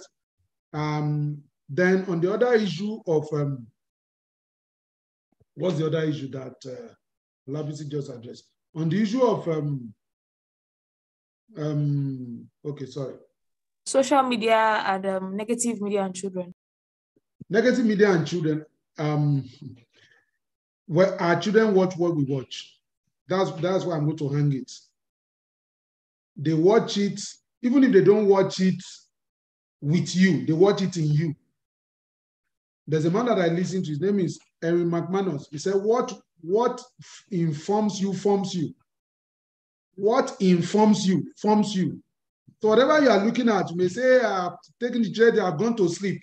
It's only me that is watching it the, those things that you are watching are forming you, and your children are going to follow you. And so that's what happens. So before I ask Ms. Um, Ayoyani to take the last question, I, I just saw a question here that is um, that is very, very germane. And I think I want to quickly look at it. Somebody saying that parenting in the developed, parenting in Nigeria and in developed country nations is quite different.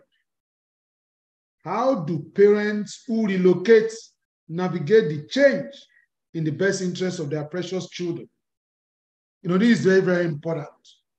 Parents in search for greener pasture leave the shores of Nigeria. As a matter of fact, many parents will tell you that the reason why they leave is to leave, they leave because of their parents. They look, they, sorry, they leave because of their children, because they are looking for better opportunities for their children. Now, so you get to another country. One, you are the new, new American or the new Briton or the new Canadian. You are there. Then your children are going to mingle faster with the culture of the land than you. When they begin to mingle with the culture of the land, what happens? What culture are they raised with that is able to stand at par, withstand, koto, or disagree with the culture they are going to meet? That is a big issue. As a matter of fact, it's been occurring to me that one day we're going to do a session on the, the issues, I don't want to call it crisis, that parents who relocate face with their children. Because you see, if you move to a first world country, you move to a world where children matters. It's not that they matter on paper, the way it is in a third world country, is that they matter in fact, is that the society knows that their future is their children. That's why they give them free education until they get to college. That's why they in New York, anybody below 18 will enter free bus. It's free. I'm talking about public bus. It's free. Just ride. These are people who understand that children are the pivotal link between the future, between the present and the future. When you come here, you find out that the children are taught to be free. Any first world country, they are taught to be free. If you go to Scandinavian countries, it's even worse. It worse in the sense that children are kings. And they know, they will tell them in school, they will let them know. So it is not um, uncommon for parents to find that their children have reported them to authorities. So what do you need to do? The first thing you need to do is to accustom yourself with the reality that is on the ground. That there is no hiding place here. What this society is going to defend children. There's a case I'm dealing with now, a case I'm following now. Four children. A couple went somewhere, they were with four children. I think they let them in the car to go and get something. Authorities came there. They have seized the four children now in the last one month, they are still on it, that you are not fit to have children or to be in charge of children, they took the custody of those children. So the first thing we need to do is to accustom ourselves to the reality of the land we have moved to. What is their disposition towards children here? After we have understood that, we don't need to sit, if we don't need to also note that our children are being socialized.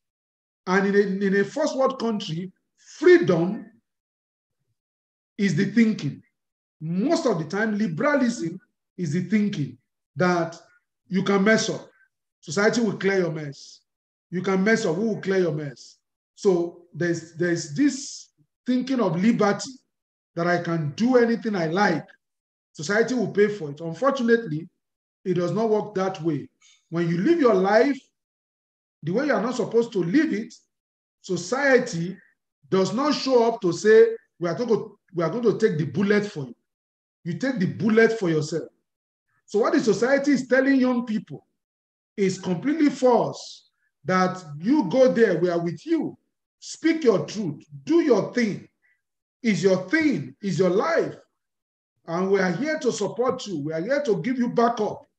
When the child gets on drug, begins to mess up, does things that a child is not supposed to do, because he knows that he or she knows that there's a backup. Somebody is going to speak for me. Then we begin to run around and say, what do we do? How can we solve this problem? So for me, you have to learn the culture, understand the culture. Number two, what values do you want to have you inculcated in your children and what values do you want to remind them of so that when they come in contact with that culture perhaps the culture is not going to deliver to them what to believe will make a difference in the lives of your children they're able to confront the culture that without without throwing you under the bus they're able to hold their own before the culture depending on who they are and all of that so it is important that we understand that when you bring children to the diaspora, environment is important. Understand the environment. What culture have you inculcated in your children? That's what I'm going to say to that. So, Mr. Let me ask you, uh, last question we'd like to ask you, and we'll be out of here. The question says that, the question says that at what age? Yes, yes. At what age do parents gather begin to discuss sexual, sexual education with their children? I'll add, it, I'll add another one so that you can take them together. What is the best method of discipline to adopt while raising children?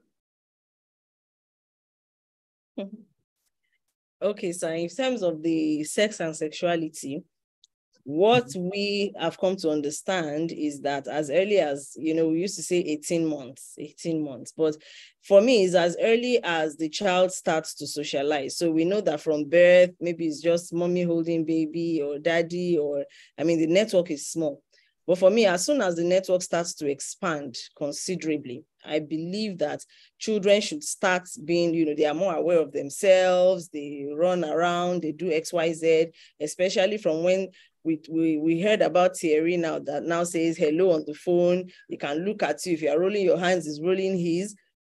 It has started, life has started, you know, for these kids. So it's important that from that age, from that point, where they can express themselves, where their, the, their exposure to other humans have increased, we start to teach them propriety. So we start from things like boundaries, things like um, what are your body parts, what are they for, what are your own personal rights. Of course, in, in age appropriate terms. And this is where the, this is the catch to it. This is part of why we need to learn of children is the reason why we need to get education. So how do we start to have these conversations? And it's very sad. One day I attended my children's school. There's this compulsory um, parenting course you are required to take as a parent, as a new parent, in taking to the school.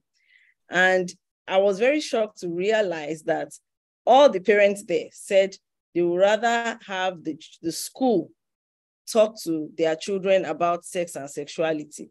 They have no intention of of going over the subject with them. It's too uncomfortable. It's too somehow. That's true. Perhaps none of us had that template. I know i didn't have any of those conversations. You know nobody told me about i figured it out on the go you know but we obviously cannot leave those things to chance so for me from 18 months from when the the child's you are, you are sending the child to daycare already the child is moving around the child is you know those kinds of things it's important that they understand age appropriate sex and sexuality education. Sexuality in terms of what are your body body parts? What is it even used for? Right? What is um what is the function of your eyes, your nose? Is it composite, you know, space? And this also is a reflection of how we treat them as well. So it's so huge in terms of when they go to the doctor. So they, they need to start understanding their, their, their own dignity of human person. That's why I said, how do we see the child? So from when my children were small, a doctor cannot just say, lie down there, remove your clothes. It's not possible. My children will say, why? you have to say why. The doctors always look so embarrassed because maybe they are, they are not used to children asking why. So the doctor, oh, I'm sorry, but the, but we can see now that in well, maybe not everywhere. Some doctors are now, oh, so I want you to lay. So right now, I just want to hear your chest, you know. Uh, so I may have to pull your dress down a little bit. It starts from there It starts from there. So first of all, learning, helping them to learn of themselves, understand themselves, understand what is my body part used for at the at that basic level. At that basic level, we must understand what is your vagina used for, what is your this one used for, what is your breast for. So those kinds of things are uh, they are my body parts. I weed through here, I put through here. So before we even start complicating things for the children, those basic information is very critical. Then as they go on, as they go on, we start to expand the conversation age appropriately. And the problem with age appropriateness now is that the age has doubled down. So the conversations that were appropriate to have with a 10 year old, maybe five years ago, is late to have it at 10 now. So you will now have to also follow the trends, what's going on. We also need to understand it. And this is an advice that ED gave me. And this is why I said those kinds of conversation, you need a village, a support system. I cannot understand, tell you the amount of time that I even I have gotten confused and I have to run, ED, what should I tell her? Ah, this is I tell her this. Ah, this is the response she gave me. That we pay this child has gone for. I say, okay, okay, okay. Use this analogy you know, because I, I had that team of people. And then again, um, you know, just to do things with, um, to, to give caution, you know, don't be paranoid. So the goal is not you pick up your child from school. Did anybody touch you today? So we also need to get creative. How do we address these issues? How do we talk to them about it? Is it age appropriate? So you you have you may have three children. The conversation you're having with one is age appropriate at 10. The conversation you're having with another, that's conversation you're having with one at 10 is seven for the other one. So these are part of the intricacies of parenting. You know, it is to understand what is age appropriate, what they're exposed to. And if you see any issues, don't wait, address it immediately. At least, maybe not immediately, maybe if you are a bit flustered or I mean, there are, there are many things guiding these conversations. I don't know, I'm, I'm having trouble summarizing, but you know, you cannot go and say, ah, you know, the child will just hold back. So it is also because it's also like a, a response thing, a response thing as well. So you see that, oh, this child was unwittingly exposed to this thing and she looks confused or he looks confused. You address that one, even if it, even if the child is five. A child that is five years old that was exposed to pornography, you have to eh, address that thing at that age you cannot say I'm waiting for them to be eight to because that's the age appropriateness. So it is very dynamic these days. We have to be very observant. We have to be watchful. We have to ask the right question, respond in the right ways, have an open door policy you know, don't make a big deal out of issues. My own children too, they they've fallen off the bandwagon. They, I mean, I, I run to Mr. Killer, I hey, help me. Oh, I'm there. I say, calm down. What was a big deal? You know, children will. So we have to have all these templates in place. But unfortunately, there is no template because your template will fail. I assure you, at some point in time, things will go faster or slower than you anticipated, and then you need to make those adjustments. So, helping them to understand their own rights as human beings, their body parts, what is used for, and as they go on in life, how to, I don't know, how to, what the application of that is for them. They have the value system very critical. Very, very critical. So you see some children now, they are labeled that, ah, what will encourage you? You know, you can't say, but that's their own. You can't touch them, you can't give them. Well, that, that's how they feel. That's how they feel. We must respect. So that courage to be able to stand up for themselves, to say, well, this is who I am I, I don't, I'm not comfortable with your hug. I know many adults that will say I'm not a hugger. I've seen them. I have friends. I'll say, oh, I'm, I'm sorry. I, I don't know. I, I flinch a bit, but I'm just not a hugger. I just don't. I just like that space, you know. So those kinds of things we must help them to be comfortable in their own skin. And we must also, because they are children, there will be some things they do. Like my baby now, she she's very gummy. Anybody she sees, she wants to be carried, she wants to sit on whose laps. I'll say no you have legs for a reason. You know, we make a joke of it that uh, you've passed the stage. That's why you have legs. You know, when you were running around and we're holding you, now is the time. You know, so we turn it into a joke. We make Kai a bit more comfortable. And I'm not afraid to tell anybody in the presence of my, my husband's friends will come see people put them on the, because she's very attached them see them on their they'll sit down on their lap want to feed her because she likes being babish uh, in their presence i'll say no you take your food you sit on your own chair and you eat your own food. So there's all kinds of um, plugins to these things, but the goal is help children to be comfortable in doing help them to understand what is right, what is appropriate. Sorry, it may not be right or wrong, but what is appropriate per time. And then we also should, you know, just keep watch, keep our eyes open, keep our minds open, keep our ears open to hear the things that are not even being spoken, and also to keep up with the times. You know, there was a time when you know, social media, it just blew up suddenly. I know even children in the US were traumatized about this mass uh, suicide. There was this guy that went on on one popular social media and where, was recruiting young children to be committing suicide. It was such a mess, you know. Many children were very, very upset and traumatized. Many of them watched people commit suicide online, live on, on the internet, you know. So parents that were smart had to quickly, you know, step in. Of course, maybe the issue of suicide was not appropriate at that time, but they had to now have that conversation about okay this is what this is the effect of this, this is the effect of that. You know we are sorry for those of them that needed to talk that needed to vent that needed to have that had questions. People quickly stepped in because it has happened and we need to we can't wait and say okay you know what? Suicide is not for now. Suicide is for later. So that's um how i would summarize that as Mr. Akinlami said, all these questions are symposium conversations. And for discipline, the issue of discipline in the faculty. in, uh, in Taiwo Akinlami Academy, we have very extremely unpopular, unpopular positions that even challenge us who are members of the faculty. So we need to understand what the purpose of discipline is. Discipline and punishment is not the same thing. Discipline is guidance. So we need to first of all look at what is the purpose of this? There are things that are I even you see happen. So just because you know this is does not mean that you automatic because don't forget there's socialization, there's there's the impact of culture and socialization and how we were raised. So it becomes a bit hard. You have to hold yourself. So having the knowledge is not enough. Is that you you stretch yourself, you hold yourself accountable. If you have a spouse, friends, whatever, you hold each other accountable. And this is why I said is a whole committee of humans do, doing these things. So understand what discipline really means as a parent.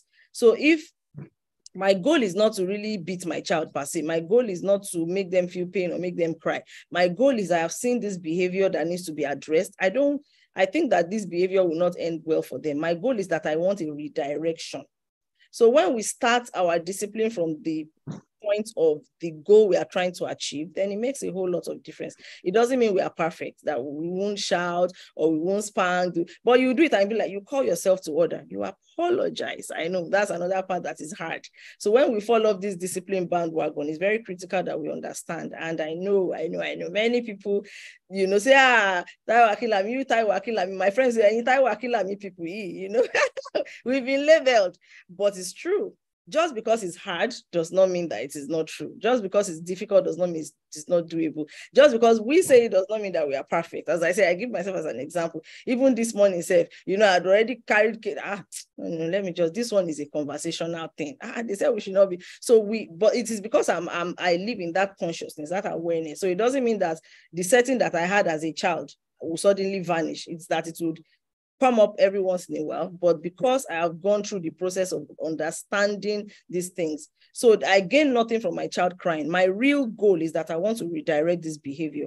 So you have this genius, you are you are applying it wrongly.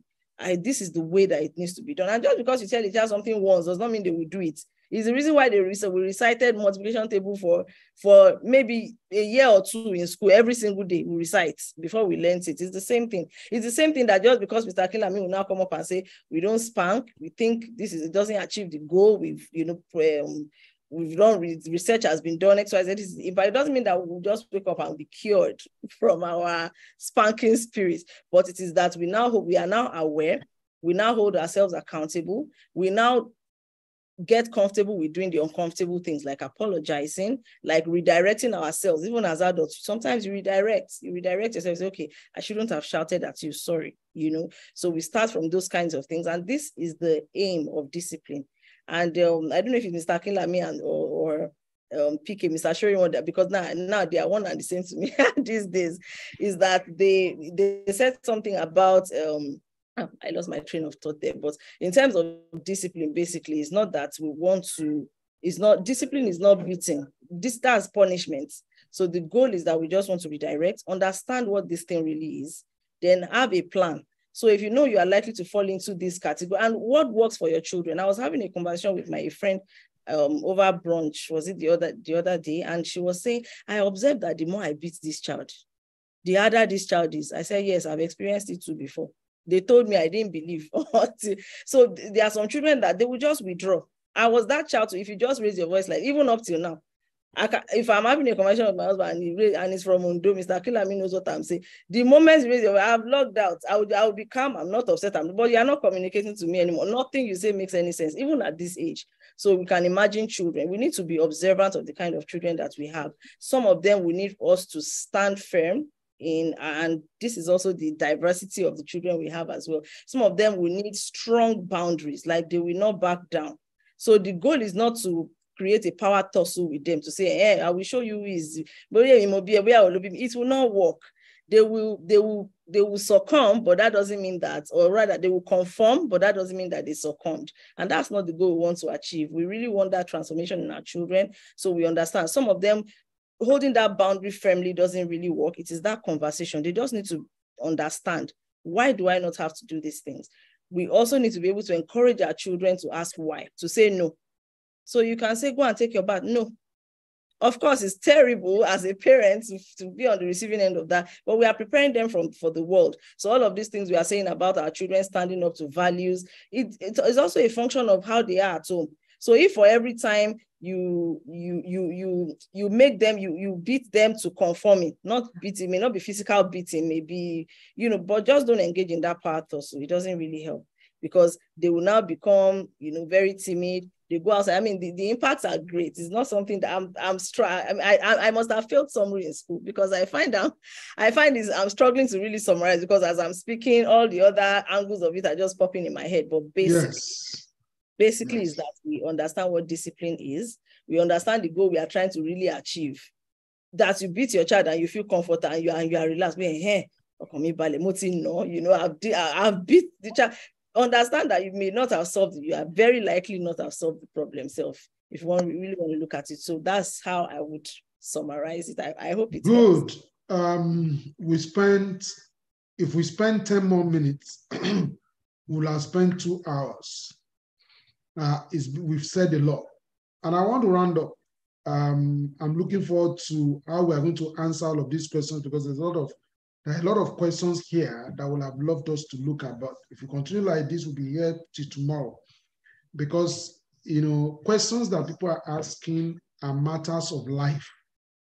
When it comes to matters of life, it's not two plus two, it's not three plus three. It's not something we can just go straight to the point. You give illustration you try to, you know, um, get um, get um, you know a whole lot of sides to the conversation. So um, I want to say some things uh, in rounding up. We are surely going to come back to have this conversation again. This cannot be the end. There's a lot that we have not covered. So we are going to figure out how we're going to get that done. And we're surely going to come back to we are surely going to come back to you, our viewers. But let me say two things. Number one, on the issue of discipline, I don't discuss child discipline again. I discuss the culture of discipline. Discipline is a culture. It's not only the child that needs discipline in the home. Father needs discipline, mother needs discipline. People who come to visit us, they need discipline. When you say we don't Please drop your shoes here. That's discipline. Don't bring the shoes into the sitting room. Those are, those are regulations within the home. So discipline is not something that only the child does. And that's where the problem starts. When the child thinks that it is only me that is being disciplined on daily basis, daddy is being disciplined, life is disciplining if nobody can talk to him. Mommy is being disciplined. Life is disciplining her if nobody can talk to her. Everybody is being disciplined one way or the other. And so the conversation about discipline is about communicating the culture of discipline. A nation that does not have probity, honor, no integrity. You want to tell children to do otherwise, it's not going to work a nation where people don't take turns, a nation where people don't um, have respect for dignity of human person. The other day, there's a woman who the son said, Mommy, must be coming down. I went to a platform, a parent, a platform of parents and teachers, which cut across Nigeria and Africa. I wrote my opinion to say this woman publicizing the child was wrong. This child, when the child is old, is she going to like all that has happened? Undue exposure for the child. Because this was a private relationship between you and your child. When you are trying to train the child, the child say, Mommy, you need to be calming down. And the child was crying. The child was traumatized. The child was not joking. The child was not laughing. So you videoed the trauma and you, you gave it to the world. And so everybody came for my head. I mean, come and see the kind of things that people were saying to me in that place. When somebody said, I know this man does not have a child. If he has a child, he can't be thinking this way. They abused me to the point that now they were not having conversation. Now you can disagree with me, but you can disagree without becoming disagreeable. Please note that platform is not the platform of is not the platform of roadside mechanics. It's not a platform of motor park touts. It is the platform of parents and educationists. They abused me to the point that the one of the administrators called me and said, Mr. Akinlami, are you reading the comments? I said, I'm reading them. He said, please, can I turn off the comment? I said, Ma, don't turn it off, let it go. When they continue, she called me again. She said, Mr. Akinlami, I don't think I should put you through this. I understand what you are saying. It is so sad that is how parents, a platform for parents, parents and teachers, educators, this is how they are talking. And I'm not, I don't have a problem with you opposing what I'm saying. It's about, and this is about disagree without becoming disagreeable. And these are people teaching children. These are parents who want their children to be courteous. Their children, they'll be saying, hey, what are your magic words? Thank you. Does is that how life ends? Your children are going to watch you doing all of these things that you told them not to do. That is discipline. What is lacking in the world today is that we have taken this subject matter of child discipline too far. What we should focus on is the culture of discipline.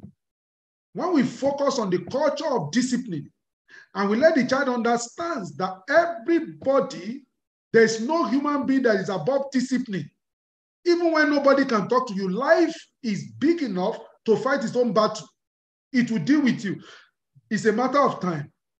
Those little, little things that you have been warned about, that your conscience has warned you about, that you refuse, is going to come like I was having a conversation with Mr. Lakule this morning. He said, a man's, a man's life is a reflection of the totality of his or her values. He said, any way, anyhow you see a man's life turned out, that is the summation of the man's value system. And it cannot be, it can, that cannot be overemphasized. That's so true. So eh, you, you don't want children to do stuff. You tell children to be bold. Are you bold? You tell children to be to be forthright. Are you forthright? You that are saying people should not steal. Do you rob the temple? That's what the Bible says. So if you so so please, my disposition to discipline today is that our children are either beneficiaries or victims of our examples.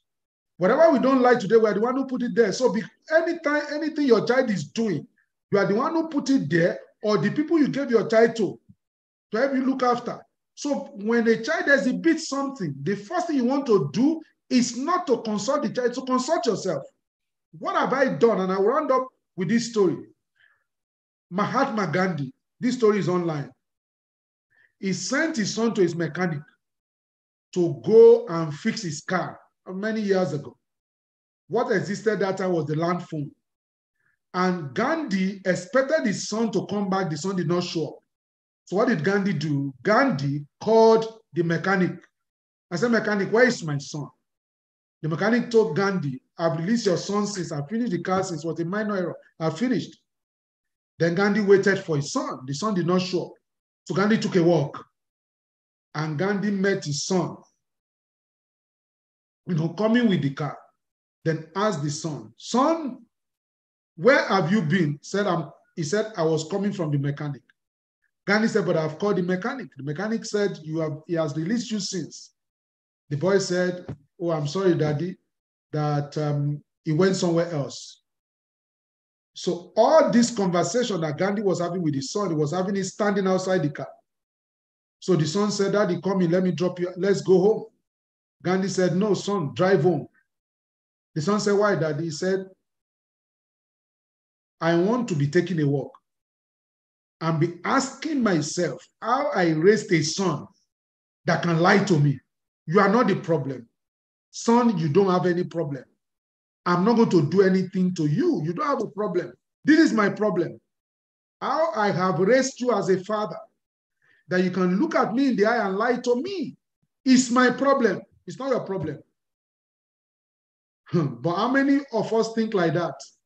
He first slap the child, say, You lied to me. Me, your father. You are lying to me. You are cursed. But Gandhi knew better that for the child to lie to the father something is amiss. This same thing that the child cannot tell you, he will, he will tell friends in school. Is the reason why he's fighting his friends in school because they don't want to, they don't want inner gist. He's going to tell the friend freely that yesterday I took my cars down to the mechanic. I just went somewhere. He's going to tell somebody. Children cannot tell you their mind because they are afraid of consequences. Because, you know, many years ago, Mr. Olakuleshon would say that you should raise your child in a way that if anything happens, you are the first person your child is going to call. He's going to say, Daddy. He said, God forbid, if your child kills somebody, he's going to say, Daddy, I just killed somebody. And what you are going to say is not going to say, See your life. I told you is to say, Where are you? Is to say, What are we going to do now? I'm coming. I'm coming to meet you. Now, that does not mean you are not going to circumvent the course of justice, but your child is going to know that you are with him or you are with her even if she's he or she is going to go through the consequences of that action, he will still feel the love of a father, the love of a mother. That's what we are talking about. Until we adjust ourselves, we can't tell children to adjust themselves. Look at what you are dealing with. Look at the issues we are dealing with as human beings. It's children we don't want to be directed. So are you saying we should leave our children alone? Yes. Are you saying we should not discipline them? No. Leave them alone means that leave them to follow you. Leave them to follow you. Abraham Lincoln says, the Bible says, train up a child the way he should go. When he's older enough, he will not depart from it. Abraham Lincoln says, How do you train up a child the way he should go? He said, You will go there first and come back and take the child with you so that you can work together, which means you cannot take your child to where you have not been. It's difficult, it's tough, almost impossible. So that's it for us today. I'm going to take final comment from Miss Ayoayeni, Mrs. Ayoayeni. I'm going to take a final comment from Miss Olabisi. That's Miss. Capital MS, Miss. Is Mrs. Ayayeni. And um, I'm going to say this about sexuality education. Mrs. Ayayeni, the reason, one of the reasons which we have found why people are saying they don't want to discuss that topic is that they themselves, they had nasty experiences growing up. They've not been healed. So having that conversation reminds them of their experiences, of their pain. And as we have now learned, pain does not have exhaust. It doesn't evaporate. It has to be healed. It has to be dealt with. Any pain that is not dealt with remains with. Time does not heal any wound. Time and medication, time and, and, and, and therapy, time and, and, and, and treatment is what heal any wound. If you have any wound in your leg now, you know, just leave it and say time will heal it. It will fester. Tetanus will get into it. It become a gangrene and then problem will start from there. Time does not heal any wound. So parents are dealing with their issues. See, the problem a lot of times is that who is teaching this sexuality education? I know a lot of things that people teach as sexuality education. Their own error combined with their own fear, with their own prejudices, with their own problem, they can't deal with it. They even avoid it. When the child comes to them, go and meet your mother. When the mother comes, when he goes to meet the mother, go and meet your father. Just be tossing the child around as, as a foot as, as a football. And the child is confused in the process. So that's one of the reasons. So it's important that who are we that want to teach sexuality education? If you don't take anything, if you want to take anything away today, it's about that securing a friendly and protective environment for our children rises and fall on who we are. Who we are. Ms. Ayoyeni was able to pull her children out of the school runs because the school runs was not delivering according to her value because of who she is. She may not know what to do in a situation. She know what she must not do. The situation we dealt with last week, we were able to deal with that way because of who we are. When status quo say, say, says go to bed, we were able to refuse to go to bed because we knew what was necessary was for that person to get help. So ultimately, whether you're talking about school, sexuality, education, school runs, all of these things, it rises and falls on attitude. It rises and falls on attitude. When we do child protection training, we spend the whole day discussing culture. That's attitude. Discussing culture, a whole day before we go into technicalities the second day. Because it rises and falls on what you believe. We say in our, in our academy and our faculty, a child is a person. Do you know that's a teaching? That's a teaching for a whole day. A child is a person. Now, for you to even accept that a child is a, you know, we don't yet accept, accept a child as a person. Now, this is an error. The English law calls a child minor. It's a problem. A child is not a minor. Those laws were made by kings. You know, I've argued this in one of our in one of our products. They were made by people whose even those kings they said they saw women women as inferior. They saw men as they saw men that is not at their level making influential at a level as inferior. They saw color as inferior, not to talk of children. They were the one who said children are minors. Until today, we still use that word. A child is a minor, is a minor. How is he a minor? A child is a person, it's not a minor. So how do we correct that deep-seated, even ingrained in our lexicography? A normal lawyer now will say a child is a minor, is a minor. We are dealing with a minor. I don't use that word deliberately. A child is not a minor. That the law says is a minor does not mean it's a person below 18 years old. In some countries, below 21 years, old, under 21 years old. It's not a minor. And when you call him a minor, you treat him as a minus. So let me take a parting shot from Ms. Olabisi Afolabi. Um, thank you very much, sir. It was been a very, very, very wonderful, eye-opening conversation. And um, I think that personally, the commitment for which we do this work is that um, as a person that is not too, you know, very, very far from um, childhood, you know, at least the, the closest person childhood, you know, on this call, most privilegedly, uh, I recognize the immediate impact of childhood on my life as, a, as an adult. You know, uh, there's some there's some just basic character traits I I, I, I exhibit right now that I know that I got from my dad, and not because he said any word. In fact, he never taught me on those things. He never ever spoke a word, but I just know that this is something I got from my dad. It's just something I, I, I experienced by just watching, mirroring, and learning as a program, you know. So um, these conversations, especially for people who are, who are that parents are very important because the truth is that you know the adults that our children become, you know, they begin they begin from when they're children. So uh, it's just very critical. And secondly, child protection is possible, is doable, um, as parents, it's hard, it's, it's a lot of work, but it's very, very doable.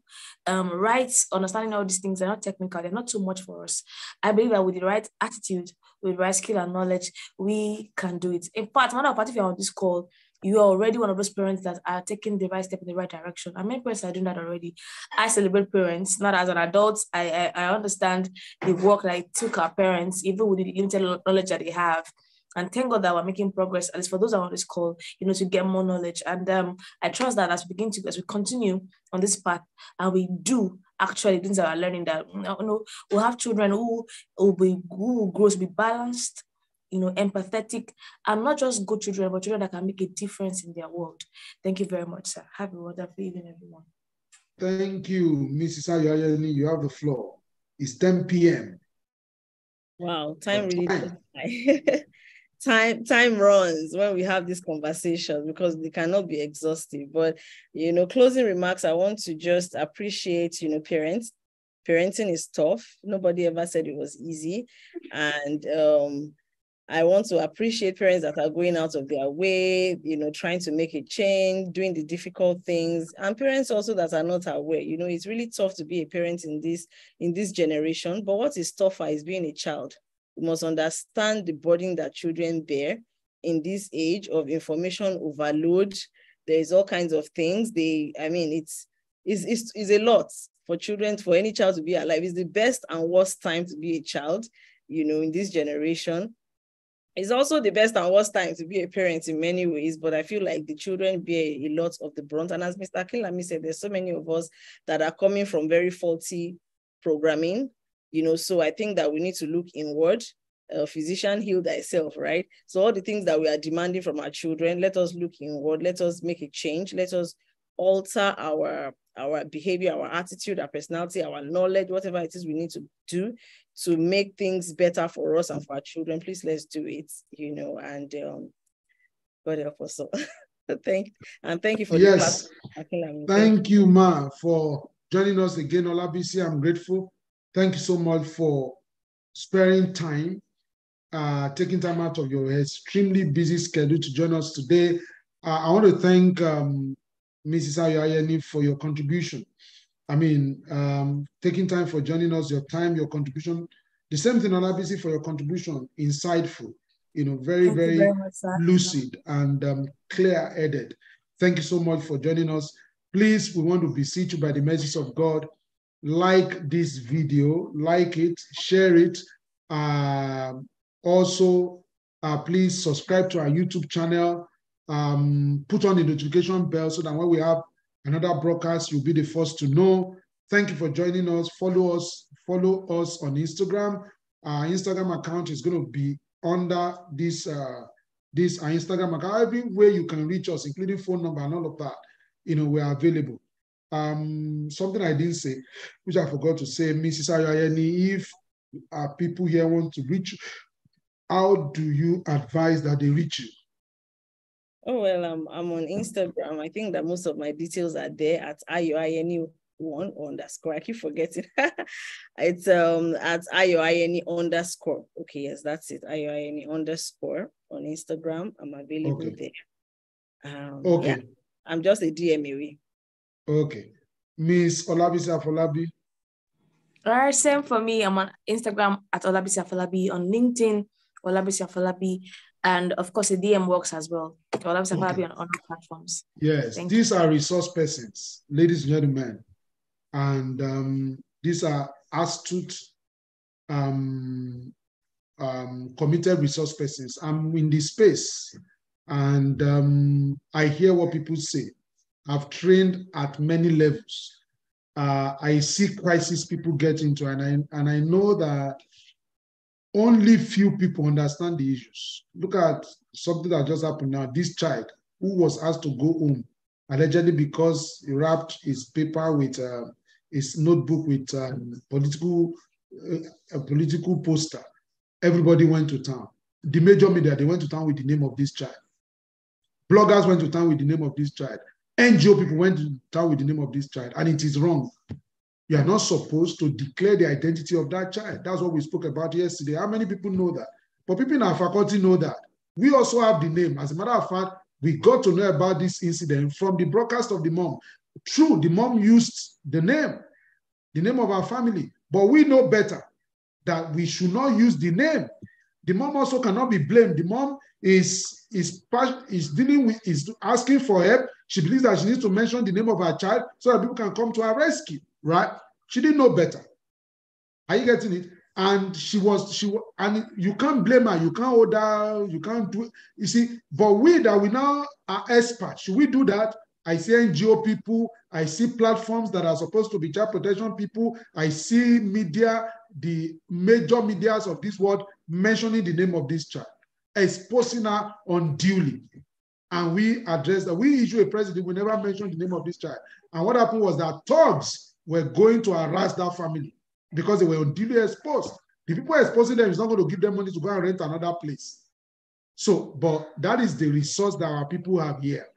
What I'm saying is that if, if, if Mrs. Ayoyeni knows that, understands that, Olabisi Afolabi knows that and understands that, that's just an index. of what they can do to your program if you invite them to be part of it. So please uh, invite them, call them, let them speak to you, let them speak to your children, let them speak to your Mrs. Ayayani. had this training, uh, a, a, a, presentation on bullying. Honestly, it was mind blowing. I was listening to her, I was looking at her again. That is this Mrs. Ayani, is it the one talking? I mean, it was all awesome in our last conference. You know, she did a presentation on bullying, very powerful. Are you getting it? On RBC has unusual insight to please use these resources. Are, are we together? Thank you very much. Yes, I must thank Sefiat Jibrin Amza. Sefiat is, is larger than life. Is a woman of many parts. Is the team, is the head of the team behind the scene, making sure that everything works as Absolutely. we want it to be. Yes. She's multifaceted. She's everything. I mean, um, she gives everything, like Olabisi. Except their lives. Except their lives. Thank you very much, uh, um, um, Sefiat. Sefiat Susu. I learned another of her name from Mrs. Ayayeni. Says Susu. I say, ah, is she Susu? Say, yes, that's her name. So thank you very much, ladies and gentlemen. Good night. See you next month.